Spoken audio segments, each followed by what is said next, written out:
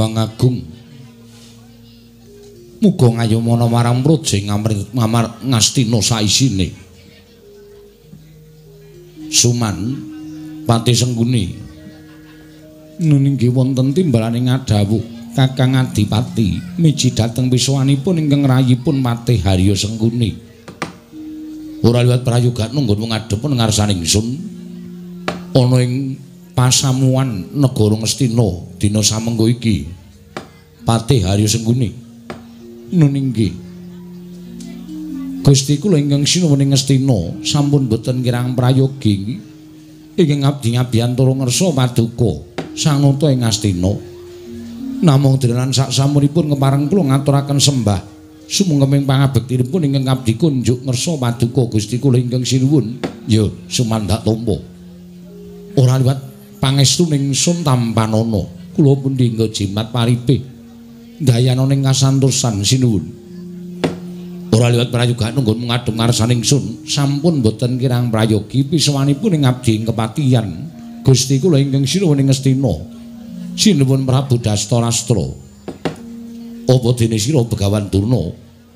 Prayoga nunggun ngadhep ana ing ngarsaning sun Begawan Durna astaka swala sila berdaba swalu kimbol sumorante sumorante hawala hawala kawula nok inggih sinuwun. Sampun boten kirang prayogi piswanipun ing abdipun Begawan Durna. Namung kepareng kula ngaturaken sembah. Sumungkeming pangabekti kula kunjuk ngersa paduka. Gusti kula sanata ing Astina Gusti kula sinuwun Prabu Dastarastra ya ya Durna. Ingsun nampa. Agarya bombong tias ingsun ora liwat pangestu ingsun tampanana kula pun dinggo jimat paripe dayana ning kasantosan sinuwun prayoga nunggunmu ngadhep penembahan duna kula naknan kula naknan. Sampun boten kirang prayoga wisanipun ing ngabdipun begawan duna wonten garing Astina dinten sak mangke menika. Iya kumbayana Kurupati Atmajaku bocah bagus Kurupati padha raja sak praptanira nggih Atmajaku Kurupati sampun boten kirang mriki wiswanipun ingkang putra pun Kurupati Kanjeng Rama. Namung marang kula ngaturaken sembah sumangga ping pangabektinipun ingkang putra kunjuk ngersa paduka Kanjeng Rama. Rama Prabu Rama Prabu Dastarastra ing Astina. Hanahanuhanin dita bocah mursid. Isa mikul dur mendem jero karo wong tuwa aja mung kandhek ana ing pangucap nanging kababaro dadi pakarti ingsun tampa akarya bombong tias ingsun. Ora liwat pangestunipun Rama Tampanana. Kula punika jimat paripe dayana ing kasantosan.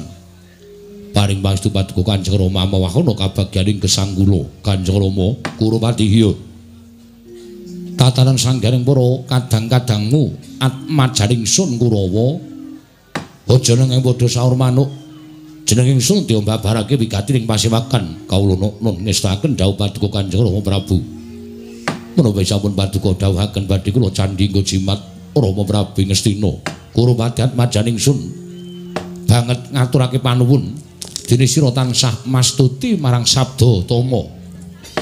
Panjenenganing Sun Kurwati kawula nun mekaten Kanjeng Rama Prabu. Nuwun sewu wa penemban sawetawis rawuh paduka penemban ngental kondo ingkang putra ing Astina ngaturaken pasegan mono ngrami kunjuk sandhap padha paduka penemban. Wa penemban Bisma sesemban kula ing ngetal kondo wa penemban. Oh Mas Tunama sidam sekaring bawana langgeng.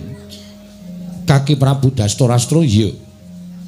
Wis ndak tompas wong pambagining Kaki Prabu akarya bombong penggali ing wakmu ing ngetal kondo. Ora liwat Udya pangastawaning pun ing kental kandha tampanana yonggir dastarastra.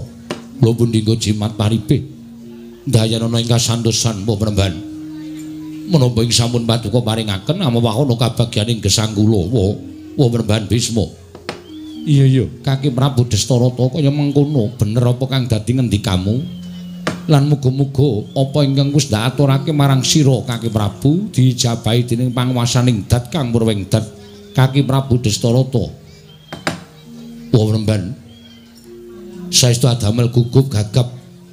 Guragaban raos sing manahipun putra ing Astina pun Dastarastra. Dene Sarawa Paduka penemban ingkang boten cecala ingkang saderengipun upami alit paduka tusan cantrik ngetal kondo agengipun paduka paring dawuh bilih kelenggan sak mangke badhe keparang tedhak wonten negari Ngastina wah remban kula nedhang rakit rata manik obro. Ing langsing jong banunji.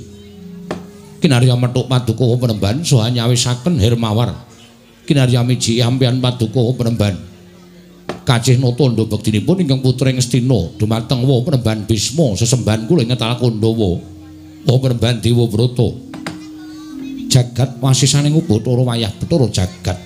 Om ilahing mastu nama sidam sekaring bawana langgeng. Kaki Prabu wonten dawuh. Nadyan nembe kawiyo sing mangandikan wae persasat kaya wis tumplak punjen sinundul puyuh bebasan kaya dene kejugrukan wukir sari kelepaning samudra madu.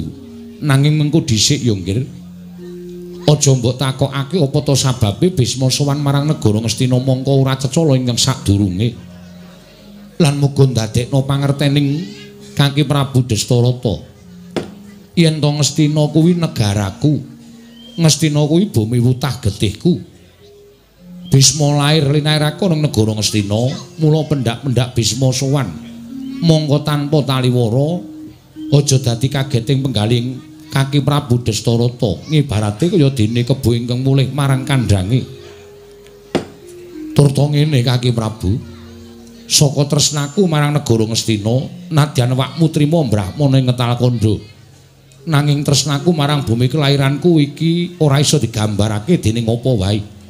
Mula pendak-pendak Bisma sowan ana negara Ngastina, wigatine mung tilik marang kahanan negaraku, tilik marang swasana negaraku, kaya ngapa uriping para kawula lan kaya ngapa peperintahan negara Ngastina. Sabab yen to nganti dumadi abang ijoning kahanan negara Ngastina, nadyan Bisma ora winengku bawat Narapraja ing negara Ngastina nanging aku rumangsa dadi jejer putra bumi negara Ngastina aku tanggung jawab bab ala becike amis baji ning kahanan negara Ngastina nggir kaki Prabu Destarata sanget ngaturaken panuwun ingkang tanpa pepindhan. Wa penemban ing mekaten tumulingkeng putra badhe cumadong dawuh menggah menapa to wigatosipun? Dening penemban keparang rawuh madyaning Datu Loyo. Menawi kepareng kawedharing kathah tumunten kababarna. Nanging menawi waditu menaping pura kadang sentono monggo kula dherekaken. Manjing salebeting kedaton paringa dawuh dhateng ingkang putra pun Dastarastra ya kaki Prabu ingkang sepisan aku tilik marang karjaning kula warga Ngastina sabab kaki Prabu lan sak kula warga kuwi minangka dadi putra wayahku kabeh mula wis sakrepe lamun Bisma tansah kepengin ngerti marang kahananing putu-putuku lan anak-anakku ingkang mapan ana negara Ngastina. Syukur nggih. Dene kabeh putra wayahku tansah pinayunganing kawidadan, tansah pinayungan marang jiwananing Wang Mahanasa. Dene ndungkap angka loro. Soaning wakmu ngetal kondo iki sayekti mung kepengin nyatakake marang wewarta ingkang wis sumebar warata saindenging jagat.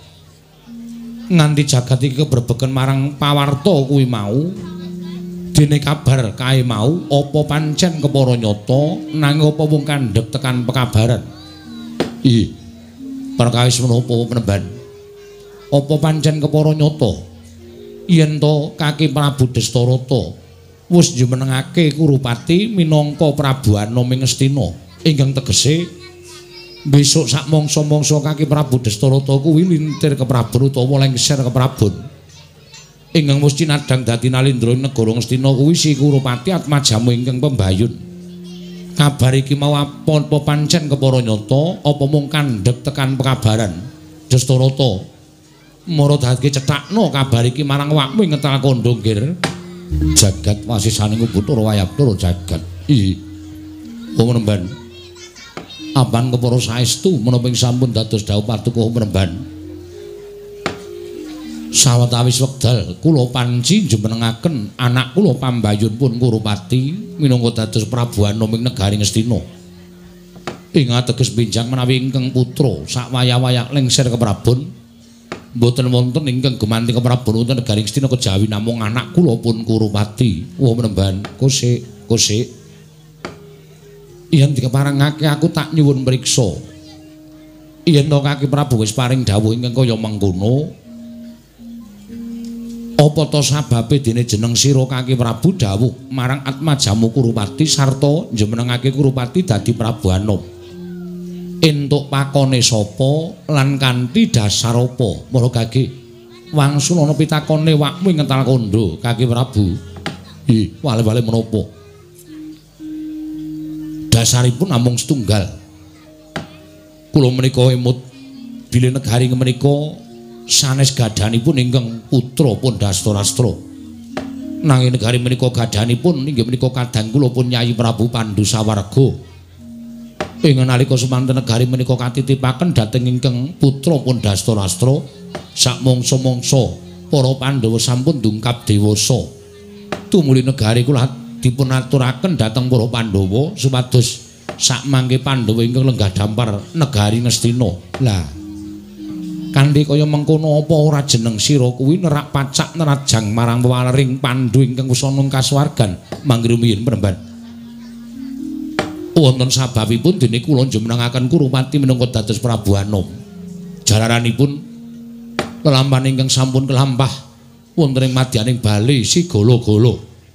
Pandhawa gangsal cacahipun anut pelapuranipun para wadyabala miwah para kawula ingkang sampun nyumurupi dhateng kedadosan Pandhawa sampun sirna kabesmi wonten telenging kitha Pramanakati wonten ing bali golo-golo. Malah mboten namung Pandhawa. Ugi kelebet kadang kula pun Yayi Kunti sedaya sampun pecah madaning bali golo-golo. Wah penemban samangke sampun mboten wonten saged kula toleh-toleh malih. Sampun mboten wonten pengajeng-ajeng kula tumraping para Pandhawa. Tumuli sak mangke negaring Sra sampun ngantos komplak. Lajeng dampar kaparingaken dhateng anak kula pun Kurupati. Wah penemban menggah menika ingin dados dasaripun dene kula wantun jumenengaken Kurupati dados Prabu Anom ing negari Ngastina. I i i jagat. Wasisaning Ubathara Wayapura jagat. Dadi ngono to critane. Ih, mekaten apa penemban. Aku tak takon karo sira Kaki Prabu Dastarata. Sing ngabarke nek Pandhawa mati ana ing bale gala-gala sapa? Inggih. Ora usah dadak warang ati nggih, Kaki matura. sing ngabarke nek Pandhawa tekaning pati kelawan anakku wadon Kunti sapa? Ih. Mboten sanes namung pelaporanipun Haryo Suman inggih Patih Sengkuni. Ingkang ngabaraken bilih Pandhawa sampun tekaning pati. Sengkuni sing ngabarke kasinggihan mekaten kose apa aku mbok keparengake sarembuk karo Patih Sengkuni kula sumanggaken apa penemban kula sumanggaken Patih Sengkuni Trigantal Pati. Suman kula wonten paring adawuh. Tak takoni mara gage kowe prasaja ya. Inggih. Apa bener sing ngabarke nek Pandhawa tekaning mati marang Kaki Prabu Dastarata kowe? Leres mekaten. Kose saiki aku tak takon karo kowe, dasarmu apa? Kok kowe iso ngabarake yen Pandhawa tekaning mati ana ing bali golo-golo? malah kowe uga ngabarake patine anakku wadon Kunti Talibrata. Nuwun sewu kula saged matur mekaten menika krana kula nggadahi bukti penemban. Buktine apa? Buktinipun inggih menika rongkongan menungso utawi balung menungso. Cacahipun enem ingkang sampun kabesmi temah dados areng kuwandanipun. Menika dados pratandha bilih Pandhawa sampun pejah kelawan Dewi Kunti Talibrata. krana kula manggihaken rongkongan menungso cacah enem ingkang sampun gosong menika kala wau mapan wonten ing bale palermanipun Pandhawa ingkang kabesmi dening Hakni menika kala wau penemban dadi kowe iso ngaturake rongkongan menungso cacah enem sing mbok anggap kuwi rongkonganing Pandhawa lan Kunti Talibrata kasinggihan mekaten Suman kula wonten dawuh saya aku tak ngerti larah-larahe lah kok dadi Siropati Haryo Suman nalika semono iso ngerteni yen to bali paremaning para Pandhawa kuwi kobong. Sengkuni kula wonten dawuh. Mara coba saiki pitakonanku wangsulana ya. Inggih, ngestakaken dawuh. Geni sing ngobong bali paremaning Pandhawa kuwi geni saka ngendi? Sengkuni kula wonten dawuh. Geni sing ngobong bali paremaning Pandhawa kuwi geni saka ngendi? menawi babakan geni menika asalipun saking pundi kula mboten ngertos. Namung kula nuwun sewu, saged ugi para Pandhawa anggenipun mapan sare mboten teliti tumuli sukunipun mancal dilah. Menika saged dados sarana kobaring balir palarmaning para Pandhawa. Sabab saderengipun sami mapan sare menika Pandhawa lan Kurawa sami suka, suka parisuka, rupian-rupian andrawinan. sami dahar ing ngeca ngunjuk ingkang seger. Mbok menawi saking anggenipun mboten kiat angampah. Anggenipun sampun kraos. Sayah badanipun tumuli mapanipun kirang leres. Lajeng salah setunggiling suku mancal dilah menika ugi saged kelampahan. Menika penemban menggajalaranipun kenging menapa bali palaranipun Pandhawa menika kobar dening Hakni. Kusik Biyen sing ngakon gawe bale palermaning para Pandhawa sing dawuh supaya gawe bale palerman ana ing kutha Pramanakati sapa? Kula piyambak. Sapa sing mbok kon yasa bale? Inggih menika abdi naminipun Puruncana kalian anakipun jaler gangsal cacahipun. Lah saiki aku tak takon. Nalika bale palermaning Pandhawa kuwi kobong Puruncana sak anake kuwi turu menyang endi? anggenipun tilem mapan wonten emperanipun bale paremanipun para Pandhawa. Terus saiki aku tak takon karo kowe. Purucana sak anake kuwi nalika semana isih urip apa tekaning pati? Yen nuwun sewu sami pejah. Kabesmi wonten bale palermaning para Pandhawa. Purucana sak anake cacahe pira? Cacahipun 6. Purucana setunggal, anakipun jaler gangsal. Lah, padha wae iso lho sengguni. sing mbok aturake kuwi dudu rongkonganing Pandhawa nanging kuwi rongkonganing Puruncana undagi sing yasa bali Palerman terus tok akeh-akeh Pandhawa tekaning mati mergo aku ngerti yen nganti Pandhawa isih urip Pandhawa bakal nampa negara Ngastina kowe ora iso dadi patih kamuktenmu ilang derajat pangkatmu ilang. Kowe ora iso sapenake dhewe mangan bondo Ngastina ning yen Kurupati sing dadi ratu kowe lestari dadi patih. Slegrang-slegreng nyam kamukten kendangan dengkul sila tumpang uripmu grogoti duwite negara Ngastina ya apa ora? Kirangan. Lho kowe iki tak takoni wangsulana iya apa ora menawi bab menika sampun ngantos dipun rembak menanging tumrap kula menika sanes rongkonganipun kurucana saat majanipun menika rongkonganipun Pandhawa gangsal cacahipun. Saiki ngene wae. Ora sandadaku kakean gunung sing tanpa guna. Mergo tumrap Begawan Bisma tak pikir-pikir yen aku guneman karo kowe kuwi ngeceh-ceh swara ora ana gunane. Mergo kowe ora bisa ndungkap sarta kowe ora isa nyekel apa sing dikarepake karan Bisma. Saiki ngene sengkuni. Sing yasa bali palereman biyen Kurucana. Purucana tok kanyasa bali palarmaning para Pandhawa nanging Purucana tok weling legawe palarmaning para Pandhawa kudu saka barang sing gampang murup upama kayu kayu sing garing dhuwurane mbok gawe saka duk lan alang-alang monggo bubar kuwi tok olesi ganda rukem tok wur-wuri bubuk mimis pamrihmu apa pamrihmu supaya yen sak mangsa-mangsa diobong bali kuwi gampang murup Iya apa ora? Nuwun sewu. Panjenengan kok malah nglepataken dhateng kula. Kula menika sampun boten kirang-kirang anggen kula budidaya. Supados Pandhawa menika tasih gesang, kula menika sampun junjung derajatipun Pandhawa damel bali palerman. Kinalya rempara Pandhawa kok malah kula dipun lepataken. Ora. Ketoke pancen kowe junjung derajating Pandhawa. Ketoke pancen kowe menehi kamukten karo Pandhawa mbok mbok yasake bali. ning janjane kuwi pancen wis tok gawe sarta karti sampe kamu dadi srana nggonmu mateni para Pandhawa sarana mbok obong ana bali palermaning para Pandhawa ning kowe tak kandhani sengguni sing jeneng ala kuwi ora bakal tumomo ning becik sing jeneng tumindak ala kuwi ora bakal iso tumomo ning becik Gusti Maha Agung Gusti Maha Adil Gusti kuwi Maha Prisa pendak-pendak eneng kang bakal dikrenah patine eh, dikrenah kasangsayane mongko wong sing dikrenah pati lan sangsaya mau ora luput ora kleru Gusti mesti paring wewengan kelawan wong mau paring pitulungan marang wong mau klebu para Pandhawa. Kowe tak kandhani ya. Nadan Pandhawa mbok jangkah patine sarana mbok obongane bali palermaning Pandhawa ning Pandhawa durung mati. Pandhawa isih urip. Nuwun sewu. Panjenengan menika kok sok tahu ta? Wong nyatanipun kula menika ingkang nyumurupi rongkongan penduk cacah gangsal tambah setunggal menika rongkongan gangsal rongkongan gosong enam cacahipun menika rongkonganipun Pandhawa lan Dewi Kunti kok panjenengan ngendikaaken Pandhawa isih urip? Monggo kula iso ngaturake buktine. Sakniki ngeten mawon.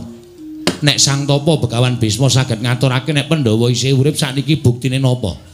Kula pengin bukti Pandhawa 5 cacahe enten bukti nek Pandhawa isih urip enten negara Ngastina sik kusik yen aku tok suwuni bukti aku ora mergo aku ora bisa nganti marang para Pandhawa. Ning saiki kowe tak takoni, kowe kelingan ora?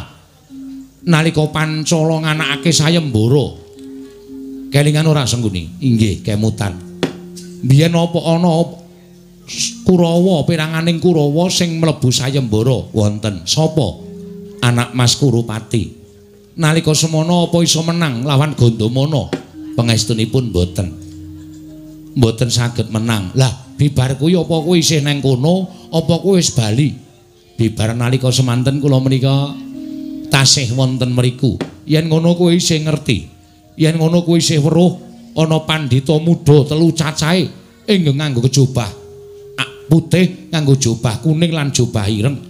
Pandhita telu mau ingkang bisa ngasorake gandamana wekasan boyong marang Waradrupadi yen kowe isih kelingan iki tak nggo bukti men melek mripatmu nek Pandhawa ijik urip. Lho. Lajeng sambung rapetipun menapa kalian pendhita muda ingkang saged unggul tuwin saged boyong Wara Drupadi. Pandhita muda sing nganggo kejubah putih kae Puntadewa. Pandhita muda gagah widaksa sing nganggo jubah ireng kae Werkudara wonten ingkang nganggo kejubah kuning kae Si Arjuna ya Permadi. Kaki Prabu Dastarata. Mara midhangetna sabdaning pun oh ingkang takondo iki ya nggir. Kowe tak kandhani ya Kaki Prabu. Panjenengan tak caosi prisa, aja gumampang percaya marang wadul ingkang ora ana kenthang kimpule sarta durung iso ngaturake dasar perkarane. Nanging sumurupa Pandhawa isih urip, anakmu Pandhawa isih urip. Ya mung uripe ana ing tengahing alas uripe kerendet ribebondotan sandangane sebit runtang ranting. Mangane ming woh wani keng tumiba ning pangkon ombene banyu sendang.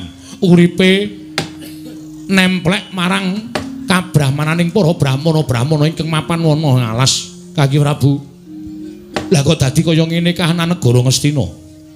Lah kok dadi kaya ngene kahanan sing tak sumurupi? Monggo Pandhawa kuwi putuku Kurawa kuwi putuku ning sira kaki Prabu dititipi Pandhawa ora iso nggula wentah kanthi becik. Sira ratu mban cindhe mban siladan. Yen anakmu dhewe mbok mban cindhe yen anake adimu Pandu mbok mban siladan.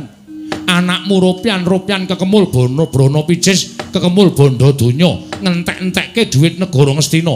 Ning anake Pandu keloro-loro urip eneng alas.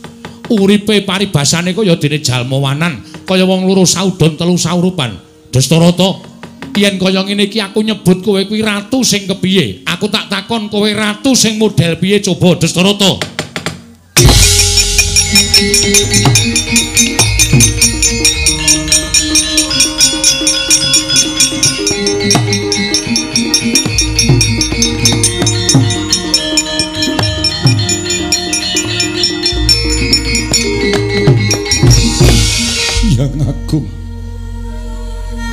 Uga ngayomana marang negara Ngastina.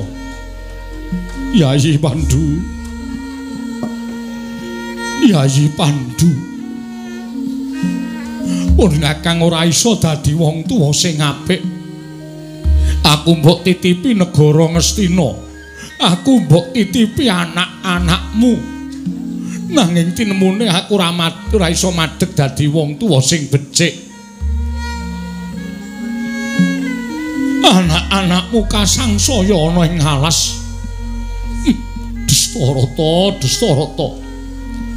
Destun temen lelakonmu.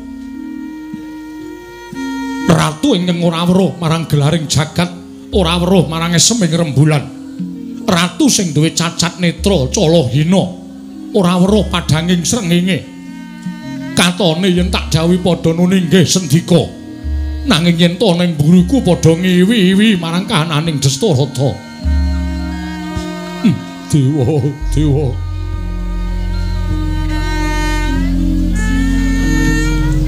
Kula nyuwun pangapunten. kula nyuwun pangapunten dewa dene ingkang abdi sampun sisip matrapaken tanduk batobat tobat nuwun sewu mbok inggih sampun kakang adipati sampun gegetun dhateng lamaning sampun kelampah. Tur malih tumrap kula mboten pantes menawi jengandika Gusti kula ingkang sinuwun menika tumuli anutuh dhateng awak paduka piyambak. Nutuh dhateng diri paduka piyambak. Kula menawi pendhawa menika sampun pejah. Menika ugi boten dados sabab. Upami tasih gesang ugi menika sae ingkang kedah panjenengan galiaken menika boten sami kejawi namung. Iki menika putra-putra paduka para sata kurawa jer menika putra paduka piyambak. Ingkang kedah panjenengan tapakaken kamulyanipun menika putra-putra paduka piyambak jer menika darah daging paduka Gusti kula ingkang sinuwun. Nanging sabab menapa panjenengan tumunten? Muwon namung menggaliaken dhateng putra-putra Maduka, para Pandhawa. Pandhawa menika dipun gagas ugi sae, mboten inggih mboten dados menapa jer menika namung anak titipan. Dari. Wonten dawuh. Terweteh kaya bedhe sewu nembo pategalan. Drewili kaya grojokan ucapmu. Ucapmu ingkang kaya mengkono mau dudu ucaping putri luhur. Ucapmu ingkang kaya mengkono mau dudu ucape sewijining garwa ratu. ning ucape menungso sing kepanjingan iblis. Sing jeneng wong tuwa kaya aku ki wis wajibe mulyake anak. Wis wajibe mulyake anak-anakku Sata Kurawa. Ning mulyane anak-anakmu Sata Kurawa aja ngesuk-esuk karo kamulyaning wong luwa. Aja ngesuk-esuk karo kamulyaning Pandhawa.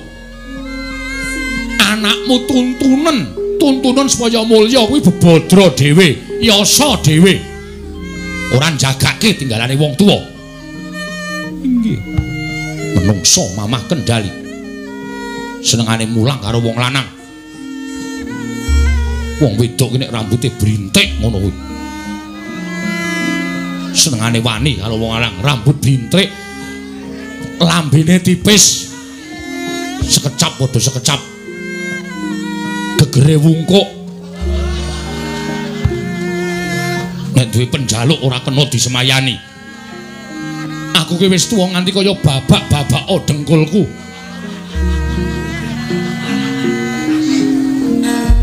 apa wangun kowe iki garwa ratu kok pendak dina borong nduk bebek ki tok ngopo inggih ora meneng aja takon dosa. Tak balik ning ploso jenar dadi jelantah kowe mukti ngawi bawa ning Astina kowe mukti kuwi rak mergo melu aku. Karo adimu Suman ki mergo ndedeple karo kamuktening Destarata. Malah padha ngobak-obak katentreman negara Ngastina, ngobak-obak banyu bening negara Ngastina. Destarata. Wonten dawuh Panembahan. Perkara iki ora cukup mung digetuni. Nanging kudu ana dalan supaya kabeh trima. Yen nganti mengko Pandhawa nyuwun negara Ngastina, apa ora kriwikan dadi grojokan geguyon dadi tangisan nuwun sewu penemban wiwit dinten sak mangke badhe kula jabel anggen kula njenengaken kurupati dados Prabu Anom krana Pandhawa tasih gesang kurupati badhe kula jabel. Pangkat Prabu Anom badhe kula paringaken dhateng anak kula pun Puntadewa kosik kosik. Aja kesusu.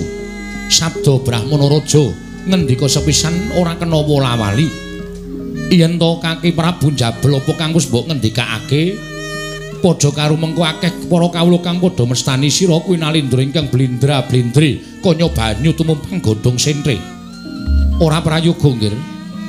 Ora prayoga. Lajeng paduka kados pundi? Jumenenga lenggah kang prayoga.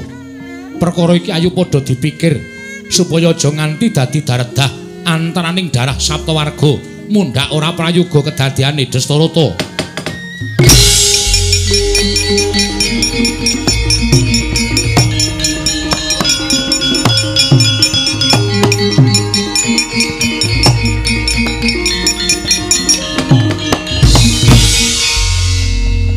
Lajeng parang patuwa penemban kados pundi? Ora prayoga yen to sira njabel apa kang sira ngendikake luwih becik kudu golek dalan liya.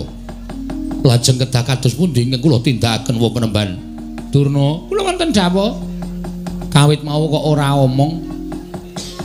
Mbok ya sambung rembug. Ah menawi mboten dipun timbali menawi ajre nampi dedukan saking paduka sang penemban bisma menapa dhewe sinuwun Prabu Dastarastra saiki tak paringi kalodhangan kowe paring dawuh bab menapa penemban kowe kudu melu penemu babakan Pandhawa upama sak mangsa-mangsa njaluk negara piye supaya kabeh padha trimane. Kula nuwun sewu kula menika apal kalan watekanipun anak-anak kula Pandhawa. Pandhawa menika tiyang sabar, Pandhawa menika tiyang ikhlas. Pandhawa menika mboten nate ngrangsang dhateng gegayuhan ingkang mboten sagedipun jangkah. Terus penemumu piye? Menawi saking pamrayogi kula Ngastina menika sampun dipun owah-owah ingkang dados nalindra ing kedah anak Prabu Kuropati nggih anak Mas Joko Pitana. Namung kemawon mangke menawi Pandhawa menika nyuwun negari Ngastina. Dipun lintoni bumi ingkang sak traju sak bobot kalian negari Ngastina. Inggih wiyaripun inggih suburipun. Lah yen miturut kowe bumi ngendi sing pantes dadi liru diparingake marang para Pandhawa. Menawi saking pangertosan kula, kula mboten paham. Babakan area pertanahan menika kula mboten jelas. Lah sing ngerti babakan wewengkon Ngastina sapa? Ah, menawi ingkang ngertos babakan wewengkon Ngastina menika namung Patih Sengkuni. Patih Sengkuni kula wonten dawuh. Wewengkon sing padha karo Ngastina jembare lan subure ngendi? Badhe kagem menapa? Lho, dinggo ngijoli Pandhawa, nuwun sewu, ngijoli kok wong modar. Pandhawa menika sampun pecah, Pandhawa menika mboten badhe sowan dhateng negari Ngastina. Seta, iki ming mbok menawa jaga-jaga yen to nganti Pandhawa tekan kene. Mergo penemuku Pandhawa urip, pemanggih kula Pandhawa sampun pecah. Ya, perkara penemune beda ora apa-apa. Ning saiki aku tak njaluk keterangan saka kowe ngendi alas utawa papan sing jembar sing padha karo Ngastina lan sing subure padha karo Ngastina. Wonten penemban ana wonten ngendi sengkuni? wonten inggih menika wana marta wana marta kasinggihan kusik wana marta ku yen miturut sak ngertiku duk nalika aku isih nom biyen tau tate nderekke bebedak Kanjeng Rama Sentanu wana marta iku bawah keperintah negara ing Wirata mboten? Rumiyin panjen Wirata sareng kula ingkang dados pengareping masyarakat. Ngestina patokipun kula jembaraken. Patoke mbok jembarke entuk pakone sapa? Mboten angsal dawuhipun sapa-sapa. Sing baku patoke kula jembarke menika dados wewengkon wilayah negari Ngastina wiladalah sengkuni kula wonten dawuh kowe kok senengane jembar-jembarke patok sing wis ditetepake apa kowe ora kelingan wong sing malak karo lemah kuwi sok nek mati ngrekoso perkara mati ling ngrekoso iki rak nyawane wis ora ana kajengipun badhe kula raos raosaken piyambak. Ah, mbok aja ngono to Dik Patih. Jahat ya jahat ning aja kebangetan. Ngono. Kampiyan niku wis dadi patih. Nuwun sewu wis do ngerti nek sampeyan niku watake angkara budi candala. Sampeyan niku malak bab menapa kemawon bab lemah mbok aja malak. Sampeyan niku omong apa? Perkara niku kula malak niku rak kangge kamuktening negara Ngastina, mboten kangge kamukten kula dhewe. Kula malak niku kula gawe bejane wong akeh ora kok golek bejo awak kula dhewe. Ah, manyen kandat-kandanane ngayal. Yes kono, kono sampean ora ngerti critane nek wong seneng malak lemah kuwi nek mati sesuk. Ah, luangane ora sedeng. Ya dijembarke. Dijembarno kaya ngapa kae? Luwangane ora sedeng kowe iki ora nonton rahasia ilahi. Mboten gadah TV sampean. Nggih gadah. Ah nyetele ming bangsa drama Korea wis ora masuk. Mang nonton niku dienggo ngelingke wong urip ning alam padang ki aja sok tumindak elok, aja sok tumindak dosa, ndak ora prayoga kedadeane. Pun sampean boten sakakean gunung tanpa guna. Nek kersa wana marta niku ming di garap para Pandhawa, nek boten kersa pun boten nonton wilayah sing jembar, sing padha kalian negari Ngastina. Wilayah wis kanggo kabeh. Oh, ngoten Dik Mati. Nggih, pun monggo. Tur arep diwenehke sapa wong Pandhawa wis mati kok arep diwenehi lemah ki lemah dinggo ngopo? Ya wis kaki Prabu yen pancen kaya mengkono manut karo apa kang dadi aturing Pati Sengkuni. Sak mangsa-mangsa Pandhawa tekan kene paring ana bumi wana marta supaya dibabati dening para Pandhawa. Supaya kinarya mukti anak-anakmu Pandhawa kaki Prabu Dastarata. Dereng ngantos paripurna sami mbawacana kasaru samya kaget ing sami lenggah madaning Datulaya. Krana prahara ing mlebet jroning negari Ngastina. dadya tambuh-tambuh sangya para ingkang samya sumewa parandene saki caling prakara angganda arum nenggi kinarya pratandha rawuhing sang bratasena jelek tanpa sangkan paran kagiat kang samya mulat gendari. Kula wonten maring adawu kedaton kaya ketaman prahara. Nganti kabeh para nayaka ora ana ingkang padha wani sumambung rembug tidem nanging elok sailanging prahara lha kok dadi ana ganda arum kaya gandaning garu rasa mala. Ingkang amrik mangambar iki iki sapa? Sapa sing rawuh? Apa jawata sing tedhak ana negara Ngastina apa nayaka? Apa prabrahmana pendhita sapa dari? Nyuwun mangapunten ingkang kemareng sowan Ngersa Maduka Kakang Adipati mboten sane kejawi namung nyuwun pangapunten menika ngados dene putra Maduka. Lho kok sik anakku sapa? Anakku sapa sing teko? Yen sing teko Dursasana kae ambune ora wangi ngene iki. Ning ambune mesti bertama. Nyuwun pangapunten sanes putra Maduka pun Dursasana nanging menika putra Maduka atmajanipun Yayi Kunti Talibrata. Lho kok sik anake Kunti kasinggihan mekaten yen ngono para Pandhawa mboten sedaya sinuwun sapa? Menika putra Maduka pun Bratasena jagat Dewa Bathara jagat Pangestungkara hmm, Bratasena tenan. Inggih saestu. Ora gawe-gawe kowe. Mboten sinuwun menika ingkang putra pun Bratasena. Adimu Sengkuni mau nanti inggih wonten wingking Suman Sengkuni. Kula wonten dawuh. Mripatmu weruh ora iki sapa? Nggih. Raden Bratasena. Terus sing tok kandhake mati mau sapa? Sing tok kandhake mati kowe ngaturke rongkongan cacah 6 tok agokke Pandhawa karo kuwi rongkongane Kunti mau janjane rongkongane sapa? Yen iki dadi bukti Pandhawa isih urip, saiki kowe arep ngucap apa? Saiki arep guneman apa? Hm? Mboten guneman. mboten ajeng matur menapa-menapa. Percaya yen Pandhawa isih urip. Inggih pitados. Syukur wong ki senengane nek kaya ngono kuwi ya. Oh, urung ana buktine kok. Wis ngakokke nek kuwi rongkongane Pandhawa karo Dewi Kunti. Harataya, nek kaya ngene iki ora jeneng sampeyan ku kewirangan. Wong niku aja sok kesusu. Kira kula niku Pandhawa. Tiwas kula kubur teng Taman Makam Pahlawan. Jebul pinanggipun sanes Pandhawa. Mang duduk, mang duduk. Pindah teng makan pangan biasa-biasa mawon. Nggih, nggih, Kakang Duno. Ah, Bratasena anakku nggih cah bagus. Bratasena padha larjo sak praptamuli. Nggih, cah bagus Bratasena. Wah.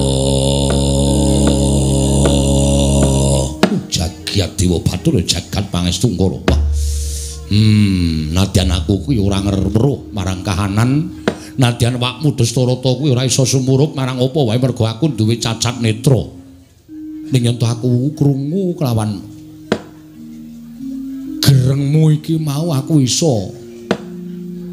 Wis katon gegambaran ana ing padoning netra kaya ngopo wujudanmu? Raharja Saprabtamu nggih.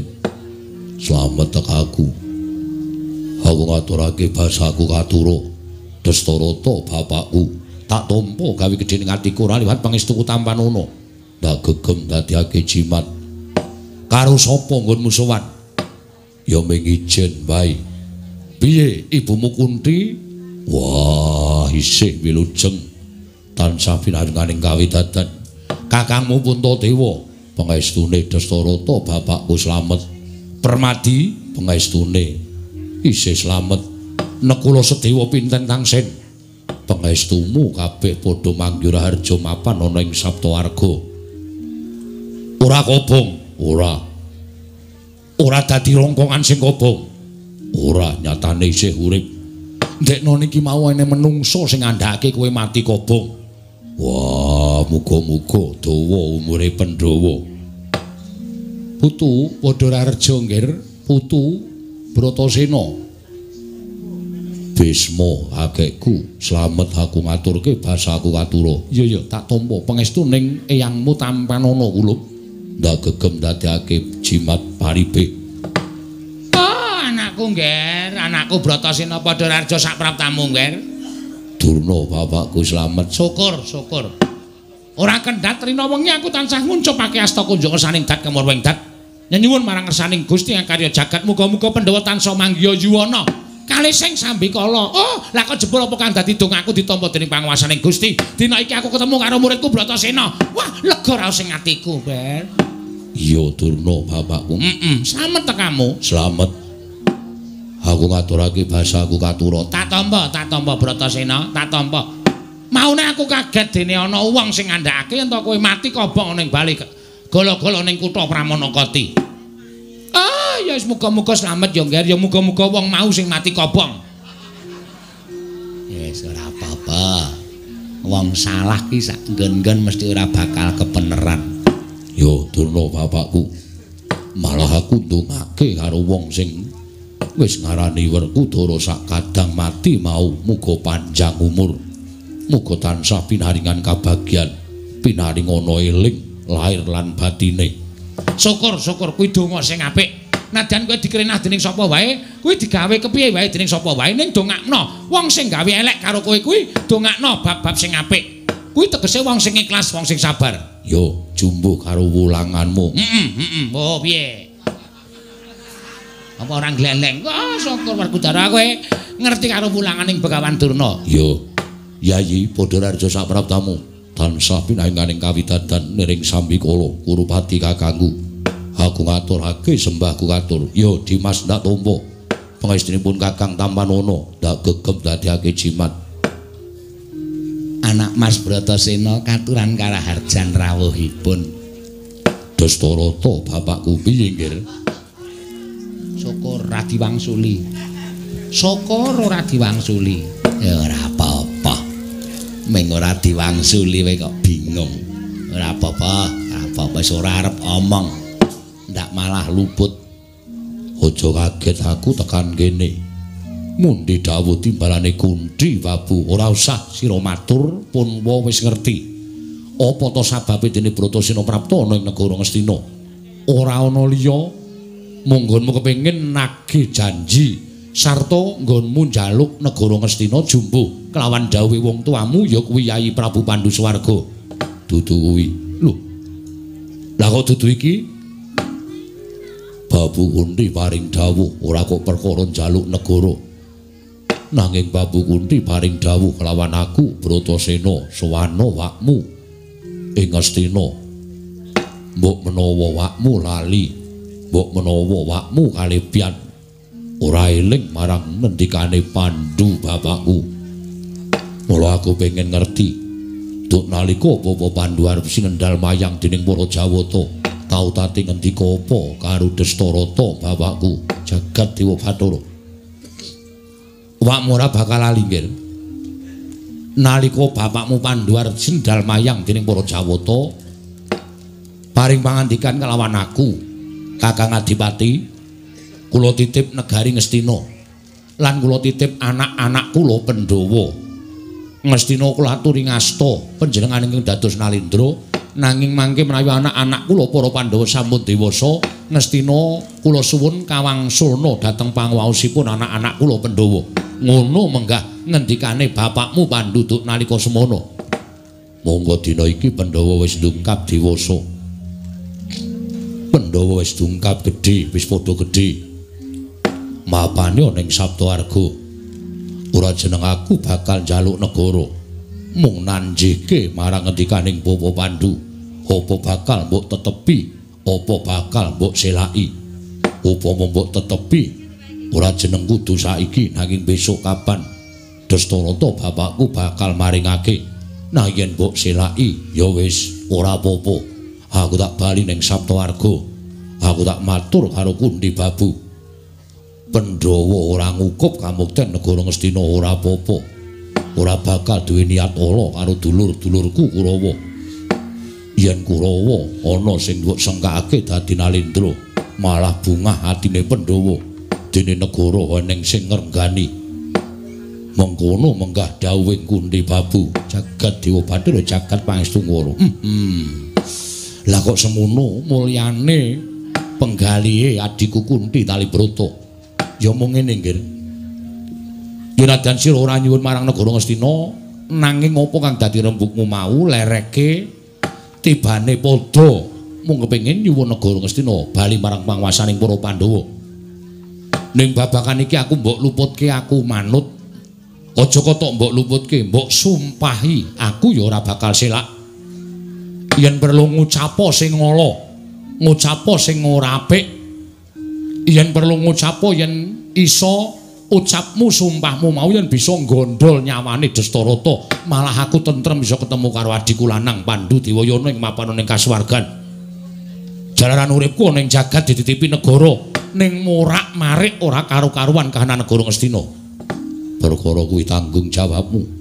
Sing wigati aku nyuwun wangsulane Mbak Dastarata bapakku piye? Sing gedhe pangapuramu ya nggih watara dina ingkang kepungkur krana sawijining pawongan ingkang padha ngandhakake yen to Pandhawa mati kobong ning bali golo-golo. Klebu ibumu Kunti ya wis mati kobong.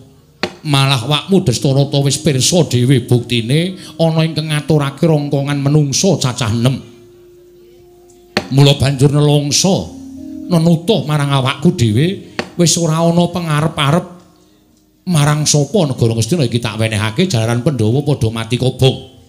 Tumuli aku jumenengake kakangmu Sikurupati dadi Prabu Anom. Mula sing gedhe pangapuramu. Aja nganti tetel kanalindraning Prabu Dastarata wakmu ing Ngastina, aku ora kena mencla-mencle. Blindra-blindri kaya banyu tumumpang godhong sente. Apa engke wis tak ngendikake kudu kelakon. Kang mangkono tak suwun Bratasena sak kadang-kadang nrimo marang kahanan iki, nrimo. Nrimo negara Ngastina ki diagem dening kadangmu Sikurupati Bratasena. Permarare mangus wamyo ngambreng Kati karunaning kaswase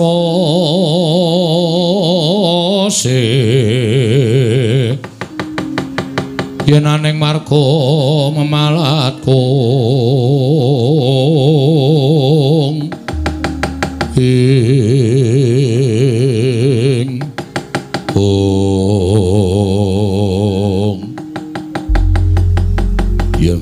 kaya ngono kedadiane. Aku ora apa-apa. Ya wis, ateges Ngastina wis dadi darbeke Kurupati. Mula aku ora bakal ngucik meneh negara Ngastina kose, kose. Aja kesusu sira bali marang Sabtawarga nanging iki mau wis dadi rembuganing para sepuh yen ana piranganing Pandhawa ingkang suwan ana negara Ngastina bakal dijoli wujuding bumi ingkang jembare padha ngestina. Subure ya padha ngestina. Ya mung kudu bebodro dhewe, tegese kudu mbok babati dhisik sabab papan kono isih wujud alas gawat kliwat. Kang aran Wonomarta, Batasena. Kowe tak paringi ijol wujuding alas Wonomarta babatana. Yen wis mbok babati kanggonen mukti kowe sak kadang-kadehan. Yasa negara ning Wonomarta kono Bratasena Wah, lahir batin kon mewenehake. Yo, lahir batin. Yen pancen kaya mengkono. Bratasena ora bakal ngutik-utik kahanan negara Ngastina dimen dinggo mukti dulurku Kurupati. Aku nampa kaya dadi pawehing Destarata bapakku. Malah wektu dina iki aku njaluk pamit. Lho, kowe arep menyang endi, Nggir? Aku arep nglakoni babat Wonomarta. Kose, kose aja kesusu. Apa ora prayoga Kembulondrawina kelawan wakmu Destarata? Wiwit dina iki aku nampa dawuh aku bakal aku prihatin ora dahar, ora ngombe. Ora mangan, ora ngombe yen perlu ora turu supaya kasembatan sediaku.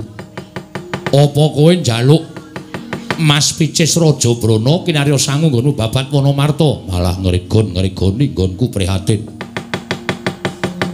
aku mangkat neneng Wonomarta kuwi arep babat arep nyambut gawe. Ora seneng-seneng ora rupian-rupian dinggo apa wujuding Brana Wicis apa kowe kepengin dibantu Wadyabala aja ana siji wae sing bantu karo Bratasena. Mergo aku ora ngerti wewatekaning wong-wong sing bantu karo aku ana uga besok ingkang duwe watakan yen wis rampung gaweanku monggo aku dibantu Wadyabala Ngastina monggo mundhak padha dirasani Bratasena sak sedulur iso mukti kae mergo saka aku lan sak piturute. Iso ya saka aku, ora ya saka aku. Wilah dalalak. Lah terus kok sik kowe saiki nyuwun apa? Kowe nyuwun apa? Kowe matura. Aku ora njaluk apa-apa. Mung siji sing tak jaluk. Kowe njaluk apa, Nggir? Sak bubare aku mangkat iki mengko tak jaluk Destarata aja dahar, aja ngunjuk. yen wengi aja nganti sare. Ngagungno asmaning Gusti bola bali nyuwuna marang purbaning Wang Mahanasa. Lakuku slamet ora ana lan swiji apa. Penjangkaku iso kelakon kuwi wae sing tak jaluk. Kuwi lah jagat dewa batur jagat pangestu ngoro hmm, hmm. wah pambegan kok kaya ngono kuwi iki turun sapa bapakmu Pandu dadi ratu, singa singaning Nalindra lak jebul duwe anak kaya ngene kahanane biyo biyo. Oh, Bratasena, Bratasena. Wong tuamu wis ora ana ning mapan ana ing swarga persasat kaya tinunda sanga papane. Dene duwe anak ingkang pambegane kaya kowe, Bratasena. Ora dadak ngalembono karo aku. Monggo munggah tetel kasatriyanku Bisma kakekku. Apa nggih? Aku njaluk donga pangestu. Ya ndak kepujo muga-muga kasembadan penjangkaning putuku Bratasena kelakon babat Wonomarta Durna bapakku ah Bratasena piye ngger aku njaluk pangestu. Bali saka kene tekan saka lima aku terus adus. Sak bubare kuwi aku terus nglakoni poso. Aku nglakoni poso. Ora pati-pati aku leren nggonku poso yen durung entuk kabar kowe iso babat Wonomarta. Wah, ngaturke panuwun. Purwati kakangku aku njaluk pamit njaluk pangestu. Yo yo dising ati-ati. Muga-muga kelakon penjagane Dastarata bapakku pisan meneh. Sak pungkurku iki tak jaluk aja dahar, aja ngunjuk yen bengi nglakonana manembahing wanci bengi dumakno Bratasena kalising rubeda. Bisa nglakoni babat Wonomarta klakon klakon nggih. Penjangkamu bakal klakon Bratasena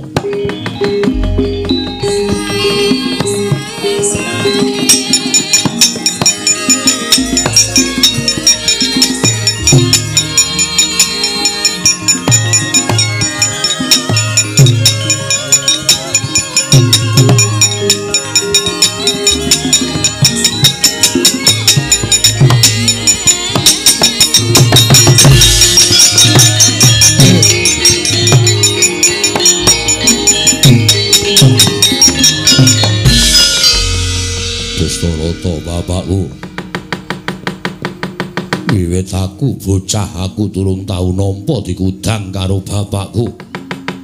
Durung tau nampa digendong karo bapakku wis ditinggal mati. Kowe sing tak anggap wong tuaku maragake sawangen. Jagate bratasena iki bengkong apa jejeg? Yen jagatku bengkong aku mudhar ning Wonomarta nah yen jagatku jejeg wah aku kelakon babat Wonomarta Oh, Bratasena, Bratasena. Anakku wong gagus, anakku wong gagah. Ndak sawang jagatmu jejeg tanpa bengkong. Katondo lamun nggonmu babat Wonomarta bakal klakon nirbaya nirsangsaya. Wah, ku njaluk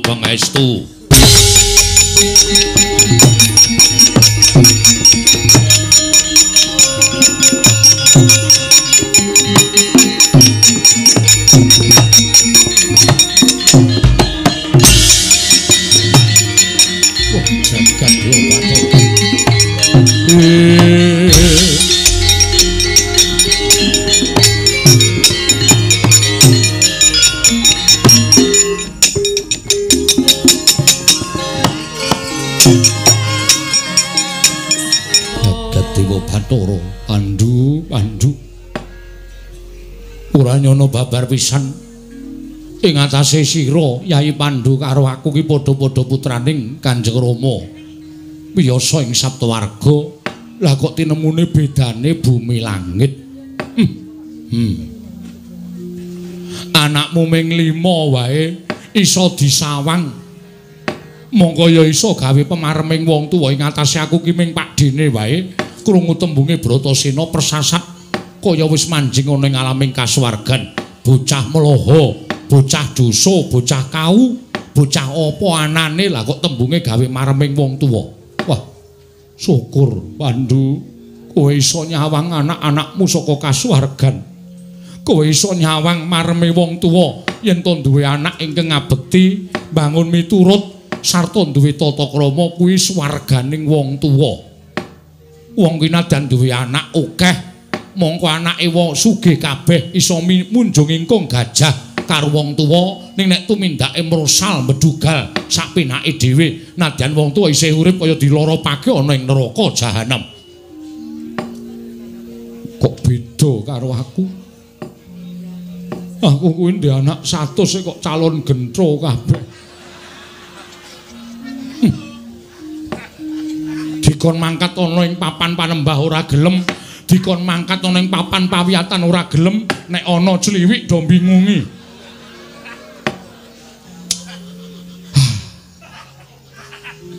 apa ya mergo wadahe sing elek biyen atobat atobat panjenengan sampun lepataken dhateng kula. Terus terus ngarani wadahe sing elek sedaya menika niki gumantung kalian srawungipun. Lah srawunge adimu. Srawunge adimu sengkuni suman. Ya to mula ora aneh. Nek srawunge ya elek, pakartine ya bakal elek. Patobat apa? Namung pur. Bratasena kemawon panjenengan ngalembono kados mekaten. Janjanipun menawi kula sawang menika iki mboten benten kanpun Dursasana. Lho kose kose kose. Kok ora beturu Dursasana kuwi? Nalarmu piye dasarmu apa gagah piyategipun iki sami. Dasaripun Dursasana menika nggih sawantenipun ageng ya mung kokean guyu.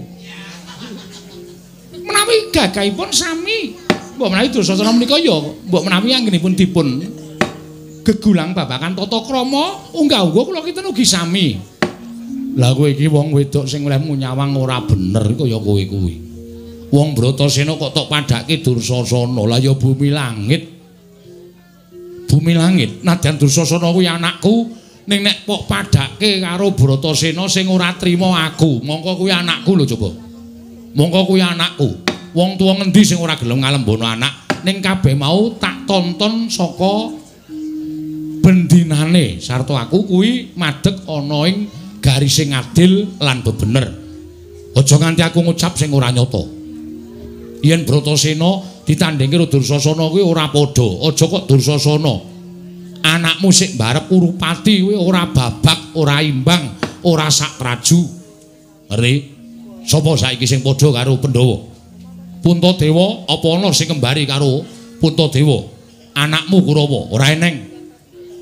Ketoke arep alus Citraksa kae. Omongane ketoke arep alus padha Puntadewa. Saya suwe saya suwe saya tuwa saya tuwa ketok pekoke. Iya ben ngono kok ngelek-elek anake dhewe. Saya aku tak takon. Terus saiki sing ning Kurawa yen ana padha sing padha karo Permadi sapa aku tak takon. Apa ana bagus sing padha karo Permadi? Ora ana. Kowe ayu, aku ya ora elek. Wong mergo aku kuwi cacat netra. Kowe putri ratu, aku ya turuning ratu. Lah kok duwe anak Kurawa ting blengkrah rupane ora karu-karuan. Coba aku tak takon, kaya ngono kuwi apa sebabe? Nek kula sedewa sing kembar. Kuwi niatku wae ya mangar tak padhake karo Citraksa Citraksi. Ning jebul ado sungsate ado. Wah.